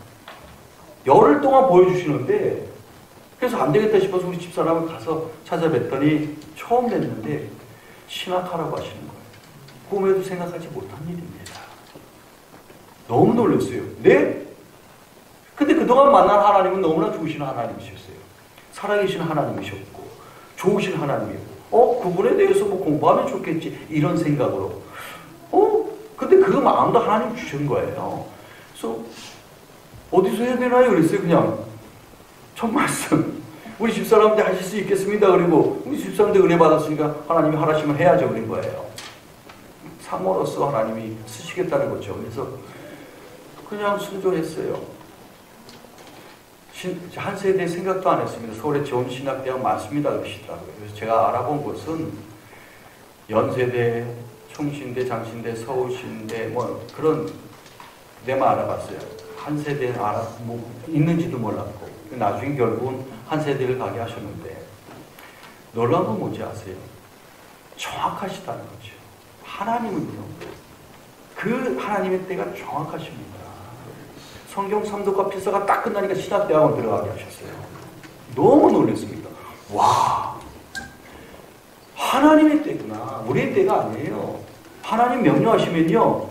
아브라함의 어떤 축복의 그, 어, 로, 축복의 그 근원이 된 이유가 뭔지 아세요? 갈대아우를 떠나라 했을 때 갈 바를 알지 못하고 떠난 것입니다. 생각하지 말라고 하나님 그러시잖아요. 우리 생각은 마귀 역사입니다. 그냥 하나님 명령하시면 아멘으로 가는 게 그것이 진정한 믿음이고 순종인 것이에요. 생각하면 마귀가 역사합니다. 그러니까 할까 말까 이렇게 됩니다. 근데 그냥 순종하고 갔더니 하나님이 또 준비하신 그 축복이 있었던 거예요. 쓰시려고. 근데 저는 그 제 계획이 아니었어요. 우리의 마음의 계획을 세워도 그 발걸음을 옮기신 건 하나님이시잖아요. 여러분의 모든 인생의 계획을 세워도 그 발걸음을 옮기신 건 하나님이십니다. 근데 하나님 명령하시면 아멘 그리고 따라가고 그러면 축복이 또 기다려요. 그럼 축복도 받고 또 가는 거예요 힘차게. 그 길이 힘들고 어려워요. 협착하고 좁고 어렵지만 쉽지 않지만 하나님이 함께 해주셨을 때 능력이 나타나고 그 축복을 받는다는 거예요. 축복 받아야 나누죠. 없는데 어떻게 나눠요? 은혜도 하나님이 우리에게 계속 체험을 시켜주시잖아요. 우리 체험의 신학입니다. 기독교는 체험을 왜 시켜 주시냐? 믿음을 주시기 위해서 체험시켜 주시는 겁니다. 왜? 하나님이 살아계신 나는 하나님, 살아있는 하나님이다. 그것 깨우쳐 주시기 위해서 계속 체험시켜 주시는 거예요. 그 체험, 그 믿음의 믿음의 믿음을 주시고, 그 다음에 나중에 확신을 주시기 위해서 그 믿음을 계속 주시는 거예요. 어느 날 우리 집사람이 머리가 아프대요. 가슴이 답답해 온대요. 그래서 제가 그때는 아무것도 모르니까 기도를 했어요. 기도 좀 해달라고 해서 하나님 우리 집사람이 머리가 아프대 어떻게 좀 해주세요. 그랬더니 하나님 말씀을 먼저 주세요. 내가 너한테 뭐라 그랬지? 네? 또 성경 괜히 상동한 거 아니지? 네. 말씀을 주시는 거예요. 믿는 자들에게 이런 표적이 떨어지니 그들이 내 이름으로 귀신 쫓아내고 새 방언을 말하고 뱀을 쥐고 올리고 어떠한 독을 마실지라도 해를 입지 않으며 병자에게 손을 쥐는 나으리라 했지 그걸 사용해라 하나님 그것은 능력 있는 목사님들이 하신 거지 저 같은 쪼무리가 그걸 어떻게 해요? 그랬더니 하나님이 너도 할 수 있다는 거예요. 네? 그래서 또 말씀 주세요. 네가 겨자씨만한 믿음만 있어도 이 산을 들려 저 바다로 옮기라 명하고 그 말한 것을 믿고 의심치 않으면 그대로 된다. 그걸 사용해라. 하나님 명령이시니까 또 사용해야 되잖아요. 그래서 아, 이거 어떻게 해야 되지? 아, 그래도 딱 생각나는 게, 아, 능력 있는 목사님들 이런, 해 주지. 아, 나사렛 예수님 명하는 걸로 갈지어다. 아, 그렇게 하면 되겠구나. 그래서 믿음 없이 해봤습니다. 나사렛 예수님 명하는 걸로 갈지어다. 어때? 아직 아파. 맞습니다. 믿음 없이 하니까. 하나님 그러셨거든. 믿음이 없이는 하나님 기쁘시게 하지 못하나니 하나님께 나아가는 자는 반드시 그가 계신 것과 그를 간절히 찾는 자에게 상 주신다고 하셨어요. 근데 믿음이 없이 하니까 안 되는 거죠. 그래서 하나님은 분명히 말씀하시죠. 이를 행하시는 야외 그 일을 만들고 성취하시는 야외께서 이르시되 너는 내게 부르짖으라 내가 내게 응답하겠고 네가 알지 못하는 크고 비밀한 일을 보이리라 기적을 베푸신다 그랬는데 이 믿음이 있어야 되는 거거든요. 그러니까 믿음 없이 하니까 안 되죠. 그래서 내가 또 해봤어요. 또 해봐. 그래서 해봤어요. 나사렛 예수의 명하니 물러갈지어다. 어때? 아, 아직 아파. 당연한 결과예요. 하나님 안 된다는데 또 해봐라. 또 해보라니까 또 하는 거예요. 세 번 하고 네 번 하고 다섯 번, 열 번, 열다섯 번, 스무 번, 스물다섯 번, 서른 번을 내비하기 위해서 그때마다 계속 한 거예요. 근데 한- 그때 하나님 깨워주신 게 뭔지 아세요? 순종, 순종, 순종. 작은 것에 순종, 순종, 순종. 해라, 네, 순종. 해라, 네, 순종. 순종, 순종, 순종. 순종하는데 순종하니까 믿음을 주세요. 순종하니까 믿음을 주세요. 그 믿음, 믿음, 믿음, 믿음을 계속 주시더라고요. 어? 점점, 점점 믿음을 주시면서 나중에 30번이 됐을 때 확신이 생기는 거예요. 나사렛 예수의 이름으로 내가 내게 명하노니 물론 갈지어다. 그 순간 머리가 시원해지더래요. 가슴이 시원해지더래요. 아 이거구나. 하나님 깨우쳐 주신 겁니다. 우리는 믿음이 없습니다. 하지만 하나님이 명령하시고 순종하면은 하나님이 계속 믿음을 주시더라는 얘기예요. 믿음을 주시고 나중에 계속 그게 딱 꽉 차고 확신이 생길 그때 하나님의 기적이 나타나는 거고 그때 깨우쳐 주신 것입니다. 자 보세요. 미련한 사람이에요. 연약한 사람이에요. 제가 하나님이 하라고 하셨을 때 됐습니다. 여러분들도 하실 수 있다는 겁니다. 자, 여러분들 가정에, 교회에, 여러분들 직장에 많은 귀신들이 옵니다. 왜? 도적질하러, 죽이러, 멸망시키러 오죠. 여러분들은 권세자들입니다. 하나님의 자녀가 되는 권세를 받은 분들입니다. 믿으시면 아멘 하세요. 그럼 그 믿음을 사용하셔야 됩니다. 하나님의 자녀가 되는 권세를 사용하셔야 되는 거예요. 그것은 우리의 능력이 아닌 하나님의 능력, 그리고 예수님이 다 이루신 그 능력이 저와 여러분들을 통해서 나타나야 된다는 거예요. 여러분들, 이 교회를 위해서, 여러분들의 직장을 위해서, 여러분들의 가정을 위해서, 우리 나라를 위해서, 전 세계를 위해서 그 기도의 권세가 나타나야 된다는 거예요. 그 하나님 살아 계십니다. 그 하나님은 저와 여러분들을 통해서 역사하기를 원하신다. 제가 신학교에 딱 들어갔는데 3월달에 입학했습니다. 하나님 때는 정확했어요. 5월달에 간증을 갔습니다. 대전 중문교회에서 저의 집사람을 부르셨어요. 초청해 주셨어요. 장경도 목사님. 그래서 운전하고 갔습니다. 강대상에서 저 말씀을 전하는데 간증을 하는데 이 밑에서 뭐가 올라와요. 토하는 거예요. 토하는 거예요. 오늘 여기 처음 오신 분 한번 손 들어보세요. 처음 오신 분 한번 손 들어보세요. 번쩍 드세요. 자, 번쩍 드세요. 자, 드세요. 괜찮으세요. 앞에 분 괜찮 드세요. 자, 손 내리세요. 벌 안 주는 거예요. 벌 주려고 손 들라는 게 아니라 여러분들과 손 드신 분들과 같이 여기 성도님들 저를 따라하세요. 주 예수님. 나는 주님을 믿고 싶습니다. 십자가에서 죽으심으로 내 죄값을 담당하시니 감사합니다. 지금 나는 내 마음의 문을 열고 예수님을 나의 구주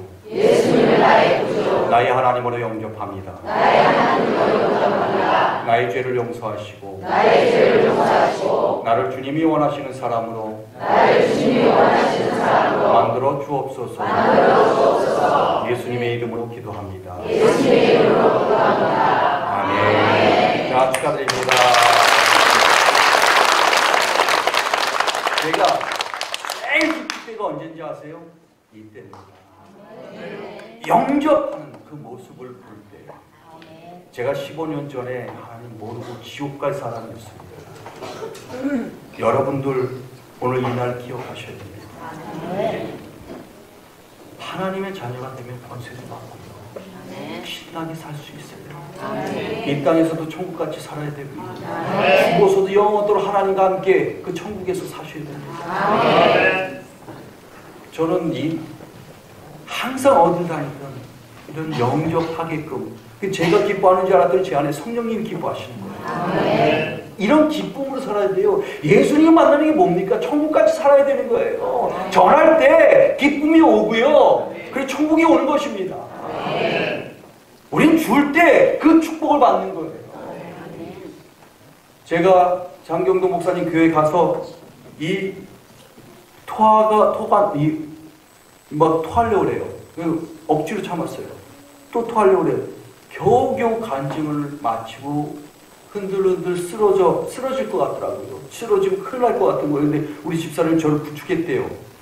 그 내려가서 장경도 목사님 계속 안수 기도를 해주셨는데도 계속 토하는 거예요. 아무도 몰랐습니다. 그냥 링겔 맞고 그 병원 그 병원 원장님 그 교회 다니시니까 그 교회 가서 그 병원 가가지고 링겔 맞고 좀 쉬다가 올라가래요. 알았습니다. 갔어요. 링겔 맞았는데 차도가 물 거예요. 하루 묵으라 그래서 묵었어요. 그 다음날 서로 올라오는데 점점 점점 온몸에서 식은땀이 뻘뻘뻘 나고 얼굴은 백지처럼 변하기 시작합니다. 안 되겠으니까 우리 집사람이 제 핸드폰에 열어가지고 병원에 저 연락을 했어요. 이 사람 이상하다. 응급실 갈 테니까 좀 준비 좀 해달라. 병원 딱 도착하자마자 병원 그 의사 선생님이 딱 대기하고 있어요. 응급실에.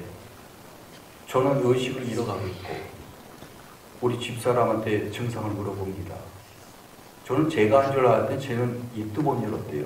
우리 집사람이 토하고요. 그랬더니 뭐 눈이 그냥 눈동자가 커지더래요. 그러면서 그 의사 선생님이 영어 한마디 딱 던지니까 인턴들과 간호사들이 난리가 났어요.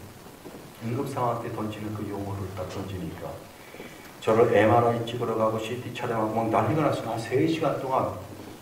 그걸 다 찍고 난 다음에 딱 오니까 그, 그 사이에 우리 집사람은 각서를 쓰고 죽어도 책임 안 진다. 그리고 딱 왔더니 수술합시다 그래요. 예? 무슨 수술이요? 그랬어요. 그랬더니 뇌출혈입니다. 그래요. 뇌출혈이 뭐예요? 그랬더니 뇌졸중이라고도 하는데 이거는 분출을 따집니다. 너무 많은 시간이 경과됐고 이미 많이 지났습니다. 바로 해야 됩니다. 그래서 어, 해야 되면 해야죠. 그랬더니 옷을 벗기 시작합니다. 옷을 다 벗기고 난 다음에 아주 짙은 녹색 그 수술복을 입힙니다. 딱 입고 그 침대에 누워서 수술실로 들어가는 거예요. 그래서 그때까지만 해도 인지를 못했는데 뇌출혈이 생각이 어? 뇌출혈이면 이거 뇌수술이네? 뇌 수술이면 이거 죽을 수도 있겠다라는 생각이 드는 거예요. 근데요 참 놀라운 게 뭔지 아세요? 죽을 수도 있는 그 상황에서 마음에 평안이 오는 거예요. 왜 평안이 올까요? 야외 샬롬의 하나님, 평강의 하나님이에요. 그 하나님이 함께 동행해 주신 겁니다. 평강이 오고 편안하고 뭐 죽으면 하나님이 천국 데려가시겠지.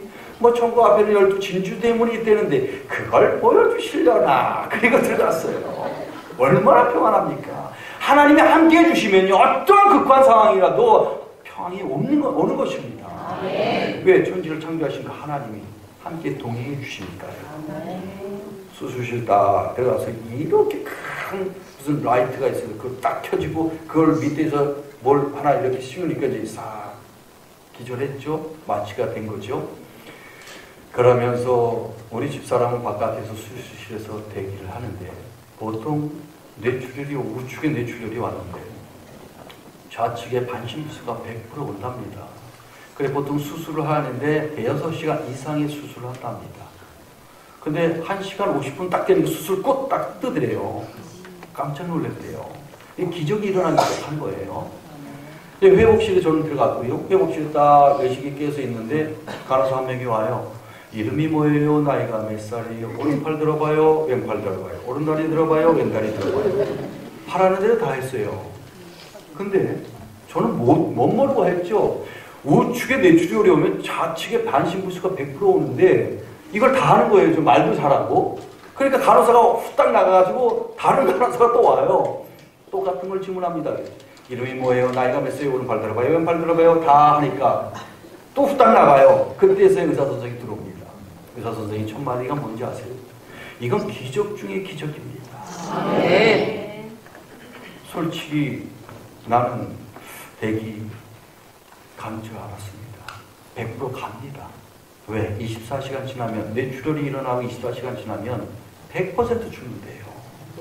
그 수술을 여기 딱 재가지고 전동줄을 뚫어보니까 피가 이게 온 몸에 이 만신 차이가 된대요. 이 저 이 뇌 안에. 근데 딱 뭉쳐 있더래요. 그래서 남들 대여섯 시간 이상 수술하는데 저는 그 뭉쳐 있는 거 긁어내기만 했으니까 한 시간 50분 만에 다 끝난 겁니다. 기적의 하나님을 여러분 믿으셔야 돼요. 기적의 하나님이 천지를 창조하신 그 창조주께서 저와 여러분들을 지으신 그 하나님께서 저와 여러분을 택해 주시고 불러주신 거예요. 당당해야 됩니다. 마귀에게 당당해야 돼요. 다스려야 됩니다. 마귀를 다스려야 되고 예수님이 다 해주셨으니까 예수님의 이름으로 귀신 쫓아내야 되는 것입니다. 여러분들을 위해서 이 가족을 위해서 이 교회를 위해서 여러분의 사업장에서 그 귀신을 먼저 쫓아내야 되는 것이에요. 도둑질하고 죽이고 멸망시키고 그 귀신들을 쫓아내지 않으면은 그것이 계속 점점점 더 힘들게 하고 갈라놓고 찢어놓고 난리가 납니다. 그렇기 때문에 저와 여러분들이 권세를 주셨으니까 하나님의 자녀되는 권세 주셨으면 하나님의 자녀답게 권세를 사용하셔야 된다는 거예요. 오늘 또 하셔야 됩니다. 이건 해도 되고 안 해도 되는 게 아니라 하나님의 명령이십니다. 왜? 저와 여러분들을 위해서, 이 교회를 위해서, 여러분의 가정을 위해서, 여러분의 사업장을 위해서, 이 나라를 위해서 하셔야 되는 거예요. 그 능력은요, 어마어마합니다. 그 낮고 낮은 베드로, 그 갈릴리 호수의 그 촌 어부들을 하나님이 사용하셨듯이 저와 여러분들을 사용하시겠다는 거예요. 능력이 나타나야 되는 것입니다. 그것이 하나님의 진정한 자녀입니다. 그것이 저와 여러분들에게 바라시고 많은 영혼을 구원하는 그 통로 삼기 위해서 불러주신 것입니다. 제가 그 죽음을 딱 하나님이 걸치게 하시고 그 다음에 4일이 지나니까 저녁에 4일 지난 저녁에 회진도는 의사 선생님이 다 체크하시더니 내일 퇴원하세요 그래요. 기적이 또 일어납니다. 남들은 대 5, 6개월 이상 재활치료를 받습니다. 실제로 저를 찾아온 분이 있어요. 소문 듣고 찾아온 분이 똑같이 우측에 뇌출혈로 오신 분인데 반신불수가 오셔서 찾아오셨습니다. 깜짝 놀랐죠. 저는 5일 만에 퇴원했는데. 그 다음날 가방 집 다 싸가지고 딱 병원을 나가는데 간호사가 어디 가세요? 어디 가세요? 막 이래서 집에요! 그랬어요. 신나서 하나님 만나면 신날 수밖에 없어요. 기적을 계속 베풀어 주시니까요. 네. 그 기적의 하나님이세요. 그 기적의 하나님을 저에게만 역사하시겠어요? 여러분들에게 역사하시겠다는 거예요. 여러분들의 가정에 역사하시겠다는 거예요. 여러분들의 자녀에게도 역사하시겠다는 거예요. 여러분들의 그 모든 직장에서도 역사하시겠다는 거예요. 이 대한민국에서도 역사하시겠다는 거예요. 이 교회에서도 역사하시겠다는 거예요. 그 하나님은 살아계시고요. 그 하나님이 여러분들을 들어쓰시기를 원하시는 거예요.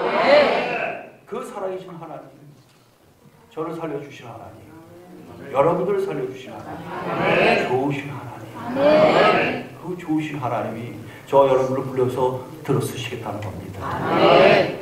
저를 따라하세요. 나사렛 예수의 이름으로. 내가 내게 명하노니. 물러가! 물러가! 물러가! 떠나가 는 겁니다. 마귀를 대적하라. 그리하면 피하리라. 마귀가 저와 여러분들을 피합니다. 말씀으로 무장이 되고요.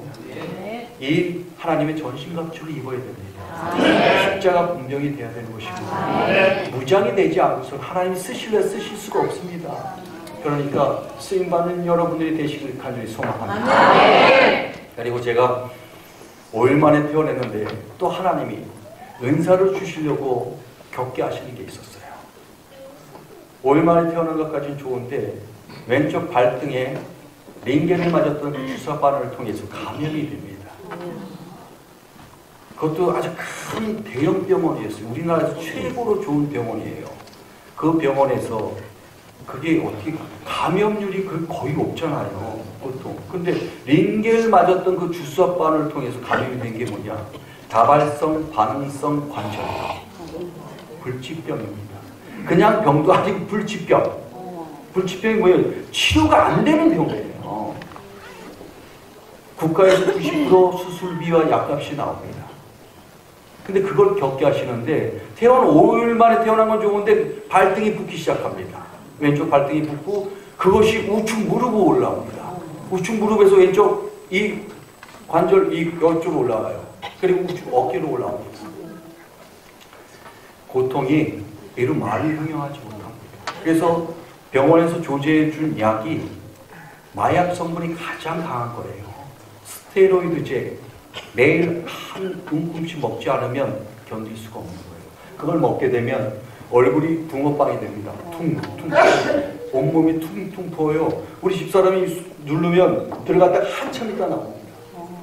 진짜 너무 아파요. 그리고 어느 날 밥을 많이 먹은 날 저녁 많이 먹은 날은 새벽에 그 화장실 가려고 일어나요. 근데 이미 그 새벽 때쯤이면 약 기운이 거의 떨어질 때잖아요. 엉금엉금 기어가는데도 모든 관절이 다 아파요. 막 너무 아파서 화장실 가야 되니까 화장실 가서 좌벽에 딱 앉아서 응가를 하려고 하는데 힘을 못 줘요. 힘 주면 너무 아픈 거예요. 눈에서는 눈물이 줄줄줄줄 나죠. 너무 아파가지고 하나님께 기도했어요. 하나님 너무 아파요. 너무 아파요. 막 울면서. 그 하나님께 이런 기도해요. 하나님, 저 하나님 늦게 만났지만 하나님이 하시는 대로 거의 다 하지 않았나요? 근데 왜 이런 일이 일어났죠? 얼마나 울었어요. 그렇게 잘 들려주시던 음성이 하나도 안 들려요. 하나도 안 들려요. 그때 몰랐는데 이제 알죠. 어린아이와 같은 수준의 그 믿음 가졌을 때는 하나님이 은혜 주시고 그럴 때는 거기에 맞춰서 주신. 장성한 분량에게 믿음이 있으니까 됐으니까 하나님 음성 안 들려주시는 거죠. 그때까지 들으신 건 아직 어린아이 같은 수준밖에 안 되는 거죠. 그때 하나님 깨우쳐 주시더라고요. 음성 안 들려 너무 답답한 거예요. 더 그렇게 잘 들려주시던 그 음성도 안 들려주시니까. 근데 그래서 할 수 없이 우리 집사람하고 기도원 가가지고 기도했어요. 할 수 있는 건 기도밖에 없잖아요. 이런 일은 기도밖에 없고 그리고 하나님이 기도, 우리의 기도를 원하시는 거고 기도밖에 없었어요. 기도하니까 어떤 분이 그러세요. 내 주의 보이로 매일 찬양 드리시고 그리고 예, 매일 예배 드리세요. 그래서 우리 집사람하고 뭐 몸이 아프니까 어디 가서 예배 드릴 수도 없고 침대에서 매일 누워가지고요. 매일 찬양 드렸습니다. 찬양 드리고 예배 드렸어요.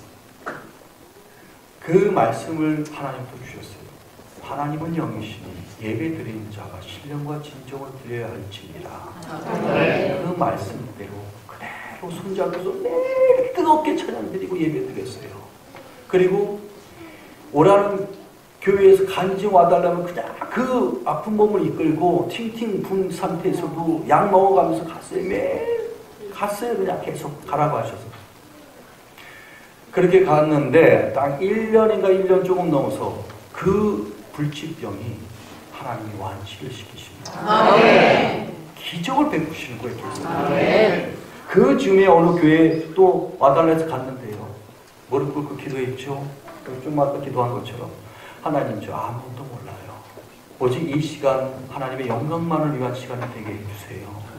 그리고 입을 열어서 말씀하세요. 그리고 아직 주님은 모르는 자가 있다면 주님을 영접해서 주님께 그 주, 받는 주님께서 주신 축복과 은혜와 그리고 길, 진리, 생명으로 주세요. 그리고 믿음이 있지만 믿음이 약한 자가 있습니다. 믿음의 믿음을 부어 주셔서 성령 충만하게 해주시고요.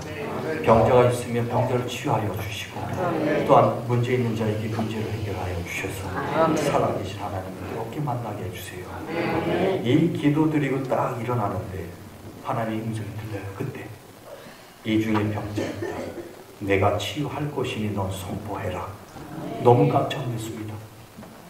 너무 깜짝 놀라서 입을 다물었어요. 두려운 거예요. 말을 못하고 있으니까 막 웅성웅성거리죠. 한참을 말을 못하니까 또 하나님 음성이 들리는 거예요. 네가 하는 게 아니고 내가 하는 것이다. 그때 하나님께 주신 겁니다. 하나님의 일은 하나님이 직접 하시는 겁니다. 저와 여러분들 통해서 역사하시고 하시는 거지 우리의 능력이 아니라는 거예요. 하나님의 능력이 저와 여러분을 통해서 나타난다는 거예요. 그걸 하나님께 주셨습니다. 그래서 선포하라는데 선포하려고 했더니 영접시켜라 그래요. 그래서 오늘 처음 오신 분 저 따라하세요. 그래서 영접시키고 그랬더니 하나님이 회개하라고 하라 그러신 거예요. 또 순종했어요. 우리는요 하나님이 들려주신 음성을 들으려고 들으려고 해야 됩니다. 들으려고 했을 때 들리는 거예요. 망가요 자꾸만 왜 귀찮거든요. 내 멋대로 살기를 원하거든요. 그러면 안 됩니다. 닫지 마시고 열어서 하나님이 오늘 무슨 말씀 나한테 주실까? 하나님 저한테 음성 들려주세요. 말씀 주세요. 하나님 말씀 주시고 음성 들려주십니다. 세미하게 들려주시는 걸 들으려고 할 때 들리는 것입니다. 구하라, 구하라고 하셨잖아요. 구하라, 구할 것이요. 찾으라, 찾을 것이요. 두드려라, 열릴 것이다. 그 말씀인 것입니다. 그래가지고 하나님이 그 들려주신 음성을 들어야 되는데 제가 그렇게 해서 그때 하나님이 그 기적을 베풀어 주시는데 회개하라고 하십니다. 그랬더니 저 앞에 환자복 입고 오신 암 환자 그분이 갑자기 대성 통곡을 하시는 거예요. 저는 암 환자인지도 몰랐죠. 근데 저분이 어, 하나님께 뭐죄 지은 게 있나 보다 했어요. 그 회개가 일어났나, 났네, 이 정도만 생각했어요. 그래서 그날은 그냥 집에 갔어요. 근데 정확하게 3개월 후에 그분 생각나게 하십니다. 그분 전화 모르잖아요. 그러니까 그 교회에 전화했어요. 혹시 그 암 환자, 환자복 입고 분, 그분 어떻게 되셨나요? 그랬더니 그분이 하시는 말씀 깜짝 놀라십니다. 내일 퇴원하십니다. 그날 이후로 가는 곳마다 하나님이 병자를 치유하시는 겁니다. 어느 교회를 갔어요? 저기 일산에 있는 한소만 교회 유영모 목사님 거기가 엄청 큽니다. 만 명이 넘어요. 만 이천 명인가 그러신 것 같은데 초대받아서 갔어요. 뜨겁게 말씀 전했습니다. 간증했습니다. 그러고 난 다음에 하나님이 보여주신데 허리 아프신 분 하나님. 그랬는데 그 많은 분 중에 허리 아픈 분이 한 분밖에 없겠어요. 여러 분이 일어났습니다. 근데 치유받은 분이 어떤 분이냐? 아멘! 그래 뻘떡 일어났는데 이 허리 협착증 있던 분이 뚝 소리가 나면서 바로 치유받으신 겁니다. 너의 믿음대로 될지어다. 여러분들의 믿음대로 하나님 치유하신다는 거예요. 저는 하나님 보여주시면 선포할 뿐이고요. 그 여러분들이 믿음을 가지고 하나님 치유하실 걸 믿으셨을 때 하나님 기적이 일어나는 것입니다. 그분이 그 교회 끝나고서 다른 교회에 갔었는데 한 달 후인가 갔는데 그 교회 또 플래카드 보고 오신 거예요. 하나님이 넌 저는 그분인지 몰랐죠. 눈을 보여주셔 눈 아픈 분 하나님 취하신다고 그랬더니 이분이 또 아멘 그 눈을 치유 받으셨어요. 제 손을 잡고 고맙습니다 감사합니다. 제가 그랬어요. 제가 한 게 아니에요. 제가 무슨 능력이 있습니까? 하나님이 하신 겁니다. 하나님께 감사하세요. 오직 영광 받으실 분은 딱 한 분 하나님이십니다.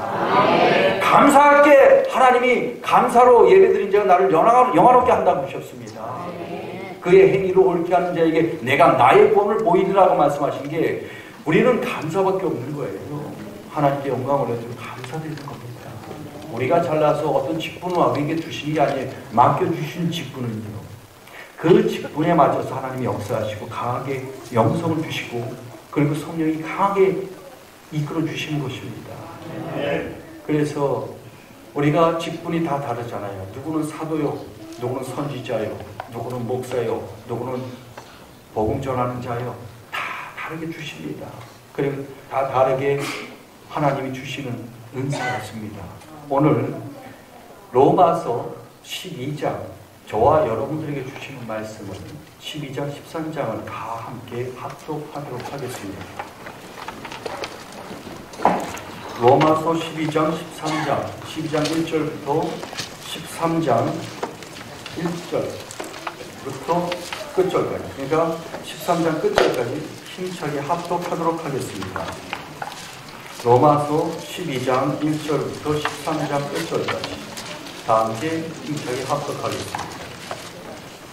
다 찾으셨나요? 자, 하나님의 말씀 살아 공동력이 있습니다. 자, 왜 나선 어떤 구원에 예리하여 hun가영과 폐부와 골수를 찔러 쪼개시기까지 우리의 마음가짐에까지 관찰하고 하십니다. 말씀을 선포하면 마귀는 떠나갑니다. 자, 12장 1절부터 합독하겠습니다. 그러므로 형제들아 내가 하나님의 모든 자비하심으로 너희를 권하노니 너희 몸을 하나님이 기뻐하시는 거룩한 산지물로 드리라 이는 너희가 드린 영적 예배이니 너희는 이 세대를 본받지 말고 오직 마음을 새롭게 하고 변화를 받아 하나님의 선하시고 기뻐하시고 온전하신 뜻이 무엇인지 분별하도록 하라 내게 주신 은혜로 말미암아 너희 각 사람에게 말하고 마땅히 생각할 그 이상의 생각을 품지 말고 오직 하나님께서 각 사람에게 나누어 주신 믿음의 분량대로 지혜롭게 생각하라. 우리가 한 몸에 많은 지체를 가졌으나 모든 지체가 같은 기능을 가진 것이 아니니 이와 같이 우리 많은 사람이 그리스도 안에서 한 몸이 되어 서로 지체가 되었느니라 우리에게 주신 은혜대로 받은 은사가 각각 다르니 혹 예언이면 믿음의 분수대로 혹 섬기는 일이면 섬기는 일로 혹 가르치는 자면 가르치는 일로 혹 위로하는 자면 위로하는 일로 무지하는 자는 성실함으로 다스리는 자는 부지런함으로 긍휼을 베푸는 자는 즐거움으로 할 것이니라 사랑에는 거짓이 없나니 악을 미워하고 손에 속하라. 형제를 사랑하여 서로 후회하고 존경하기를 서로 먼저 하며 부지런하여 게으르지 말고 열심을 품고 주를 섬기라.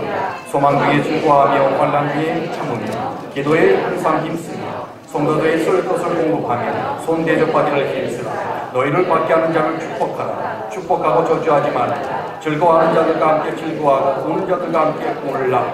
서로 마음을 같이하며 높은 데 마음을 두지 말고 도리어 낮은 데 처하며 스스로 지혜인 채 하지 말라. 아무에게도 악을 악으로 갚지 말고 모든 사람 앞에서 손을 니를 고마라 할수 있거든 너희로서는 모든 사람과 더불어 화목하라. 내 사랑하는 자들 너희가 친히 원수를 갚지 말고 하나님의 진노하심에 맡기라. 기록되었으니 원수 갚는 것이 내게 있으니 내가 갚으리라고 주께서 말씀하시니 내 원수가 드리거든 먹이고 목마르거든 마시게 하라. 그리함으로 내가 숯불을 그 머리에 쌓아 놓으니 악에게 지지 말고 손으로 악을 이기라 각 사람은 위에 있는 권세들에게 복종하라. 권세는 하나님으로부터 나지 아님이 없나니 모든 것에는 다 하나님께서 정하신 바. 그러므로 권세를 거스르는 자는 하나님의 명을 거스르니 거스르는 자들은 심판을 자취하리라.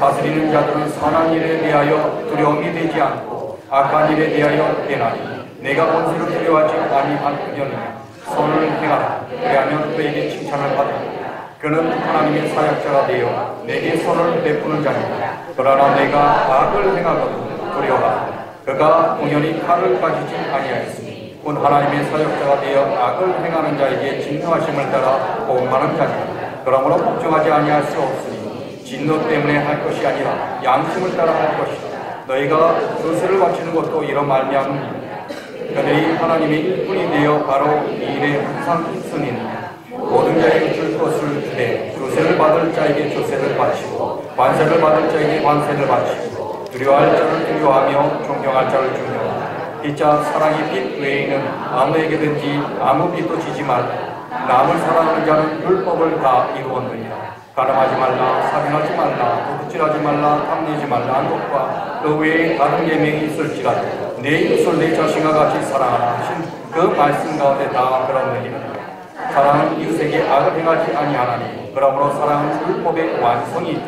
또한 너희가 이 시기를 알거니와 자다가 깰 때가 벌써 되었으니 이는 이제 우리의 구원이 처음 믿을 때보다 가까웠습니다.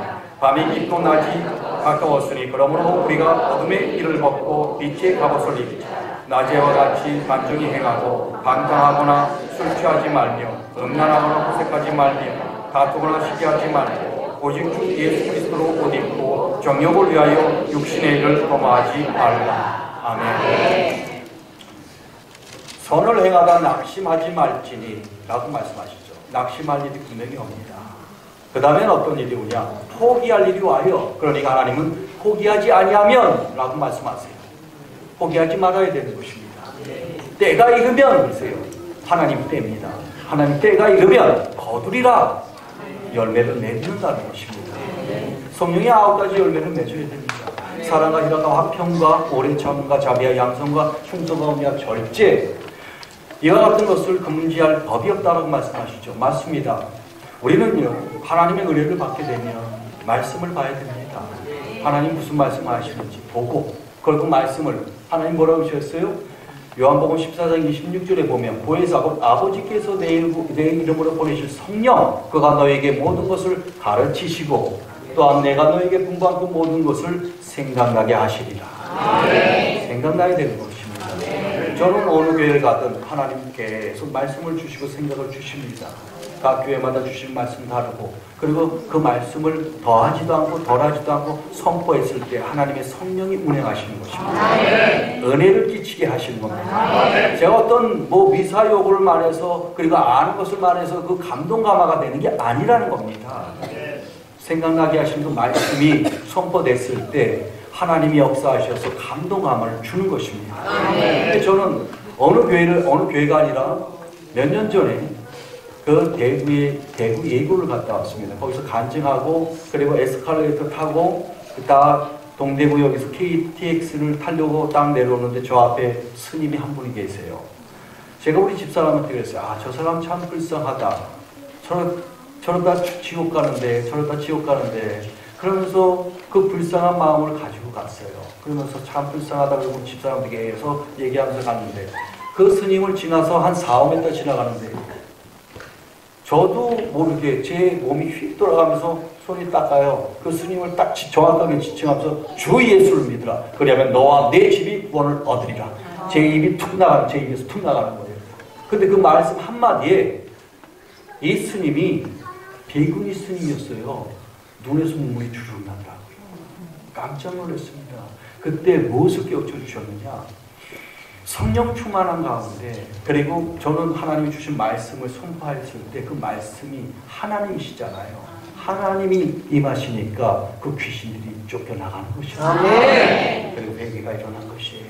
그래서 뭐냐, 여러분들이 기도하고 전도할 때 그냥 나가지 마시고 성령 충만함으로 기도하고 예배드리고 찬양드리고 그런 다음에 죽어가는 영혼 잃어버린 양을 그 사랑의 마음 가지고 성령 충만함으로 가보세요. 그러면요 기적이 일어납니다. 아멘. 감동함을 하나님이 시켜주시는 거예요. 아멘. 저는 신학대학원 갔을 때 또 기적이 일어났었어요. 그때 저한테 어느 그 전도 실습 시간이 있었습니다. 어느 교회를 가라고 해서 가서 그 교회 갔더니 그 교회에서 아파트 전도가 힘드니 아파트 가서 전도하래요. 20층이에요. 그래서 이 밑에서 어차피 다 돌아야 되니 올라가는 것보다 20층 가서 밑으로 내려와야지. 에스컬레이터 타가지고 딱 20층 도착해서 두들겼어요 몸을 문을 두들겼어요.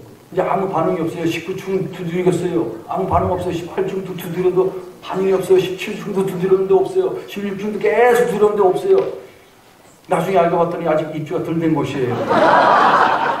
저 정말 아니 어, 아니 아, 이 아무리 연예인이가 알려줘도 이거 갔다 오세요. 저한테 얘기 안 하셔도 됩니다. 다녀오세요. 어. 근데 그리고 이제 그래서 이제 자 그 그 입주가 덜 된 곳을 아 하나님 어떻게 해줘 이거 어떻게 해야 고민되는 거예요. 근데 그 수업의 일환이기 때문에 그 다음 주 또 가야 돼요. 그래서 또 운전하고 이제 그 교회를 가는 거예요. 하나님 어떻게 여기 아직 입주가 안 된 곳인데 이거 어떻게 전도해야죠? 막 기도하고 왔어요. 하는 것이요. 비록 입주가 덜 된 곳이지만 그 현관문 앞에 가서 기도해라 그러시는 거예요. 그래서 또 가서 그 명령이 순종하면 축복받는 거 아니까 또 가서 아 20분 올라가서 또 기도해야지. 하나님 저 저도 죽을 수밖에 없는 영혼이었잖아요. 지옥 갈 수밖에 없는 영혼이었잖아요. 아직 입주가 덜된 곳이지만 이곳 새로운 누군지 모르지만 이 가족을 하나님 구원해 주세요. 그리고 간절하게 기도했어요. 그리고 기도한 다음에 초인종 누르고 역시나 반응 없죠. 기도하고 또 초인종 누르고 또 반응 없어요. 막 내려왔어요. 계속 순종하면서 11층에서 기적이 일어납니다. 간절하게 기도하고 딱 초인종을 누르자마자 문이 벌컥 열리는 거예요. 벌컥 열리니까 그분들도 놀라고 나도 놀라고 헉 했는데 보자마자 들어오래요. 연예인이나 들어, 들어오라는 게 아니에요. 그냥 하나님 역사입니다. 그래서 아, 예 감사합니다 들어갔어요. 그리고 그 거실에서 딱 축복 기도 하고 그런 다음에 하나님 만난 간증을 잠깐 했어요. 그랬더니 하나님 감동감으로 시켜주신 거예요. 그 눈물을 흘리시는 거예요. 그래서 야 됐다 싶어서 자 교회 나오세요. 아 예, 알겠어요. 그랬는데 하나님 세 번을 가게 하셨어요. 그리고 오겠다는 사람이 안 오는 거예요. 시험에 또 들면 마귀 역사하는 겁니다. 못 가게. 그래서 전화를 했어요. 전화했더니 안 가겠다 막 이래요. 안 되겠다 싶어서 우리 집사람하고 케이크 사가지고 갔어요. 케이크 사가지고 가지고 아 예수님 믿으셔야 돼요. 그게 축복입니다. 아 그랬더니 또 아예 알았어요. 그래요. 그리고 난 다음에 집에 왔는데 또 이상한 거예요. 그래서 안 되겠다. 주일날 우리가 가겠습니다. 그래서 가서 그분들 모시고 교회로 모시고 갔어요.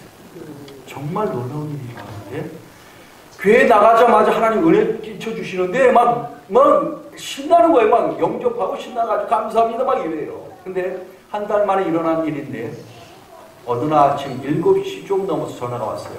그분한테. 막 우세요. 왜 그러세요? 그랬더니 어머니가 돌아가셨대요. 근데 어머니가 92살에 돌아가셨는데 권사님이셨습니다. 교회 권사님. 근데 이런 말씀 하시고 저녁에 가서 뵀는데 92살인데 평생의 기도거리 그 아들 가족들 구원하는 게 그 평생의 기도거리였대요. 다른 자녀들은 하나님 은혜 받고 신나게 사는데 이 아들 가족 세 가족 아, 여, 8살짜리 아들과 그 어, 며느리와 이 세 가족이 구원 못 받은 거예요. 그러니까 하나님이 저와 우리 집사람을 통해서 그 가족을 구원하게 하신 그 모습을 보시고 평안하게 92살에 돌아가셨대요. 너무 감사해서 저와 우리 집사람을 그렇게 보고 싶어 하셨대요. 너무 감사했대요. 그때 하나님 깨우쳐 주신 게 뭔지 아세요? 때가 있다라는 거예요. 오늘 지나면 안 돼요. 지금 지나면 안 되고 나중을 보지 말고 지금 당장 가서 전해야 되는 것이에요. 죽어가는 영은 오늘 저녁에 죽을 사람도 있고요. 내일 죽을 사람도 있고 한 달 후에 죽을 사람도 있어요. 우린 전하라는 대로 전하면 됩니다. 그 죽기 전에 하나님을 영접해서 하나님의 은혜 가운데 살아가게 하나님이 부르시는 거예요. 그게 누구예요? 저와 여러분들을 통해서 그 영혼들을 구원하길 원하시는 겁니다. 아멘. 때를 얻든지 못 얻든지 전해라. 강권해라. 전해라. 해도 되고 안 해도 되는 게 아니라 가서 전해라. 그러면 하나님이 책임져 주시겠다는 겁니다. 아멘. 저와 여러분들을, 여러분들을 그렇게 사용해 주시고 그 구원의 통- 통로로 삼아 주시길 원하시는 거예요. 아멘.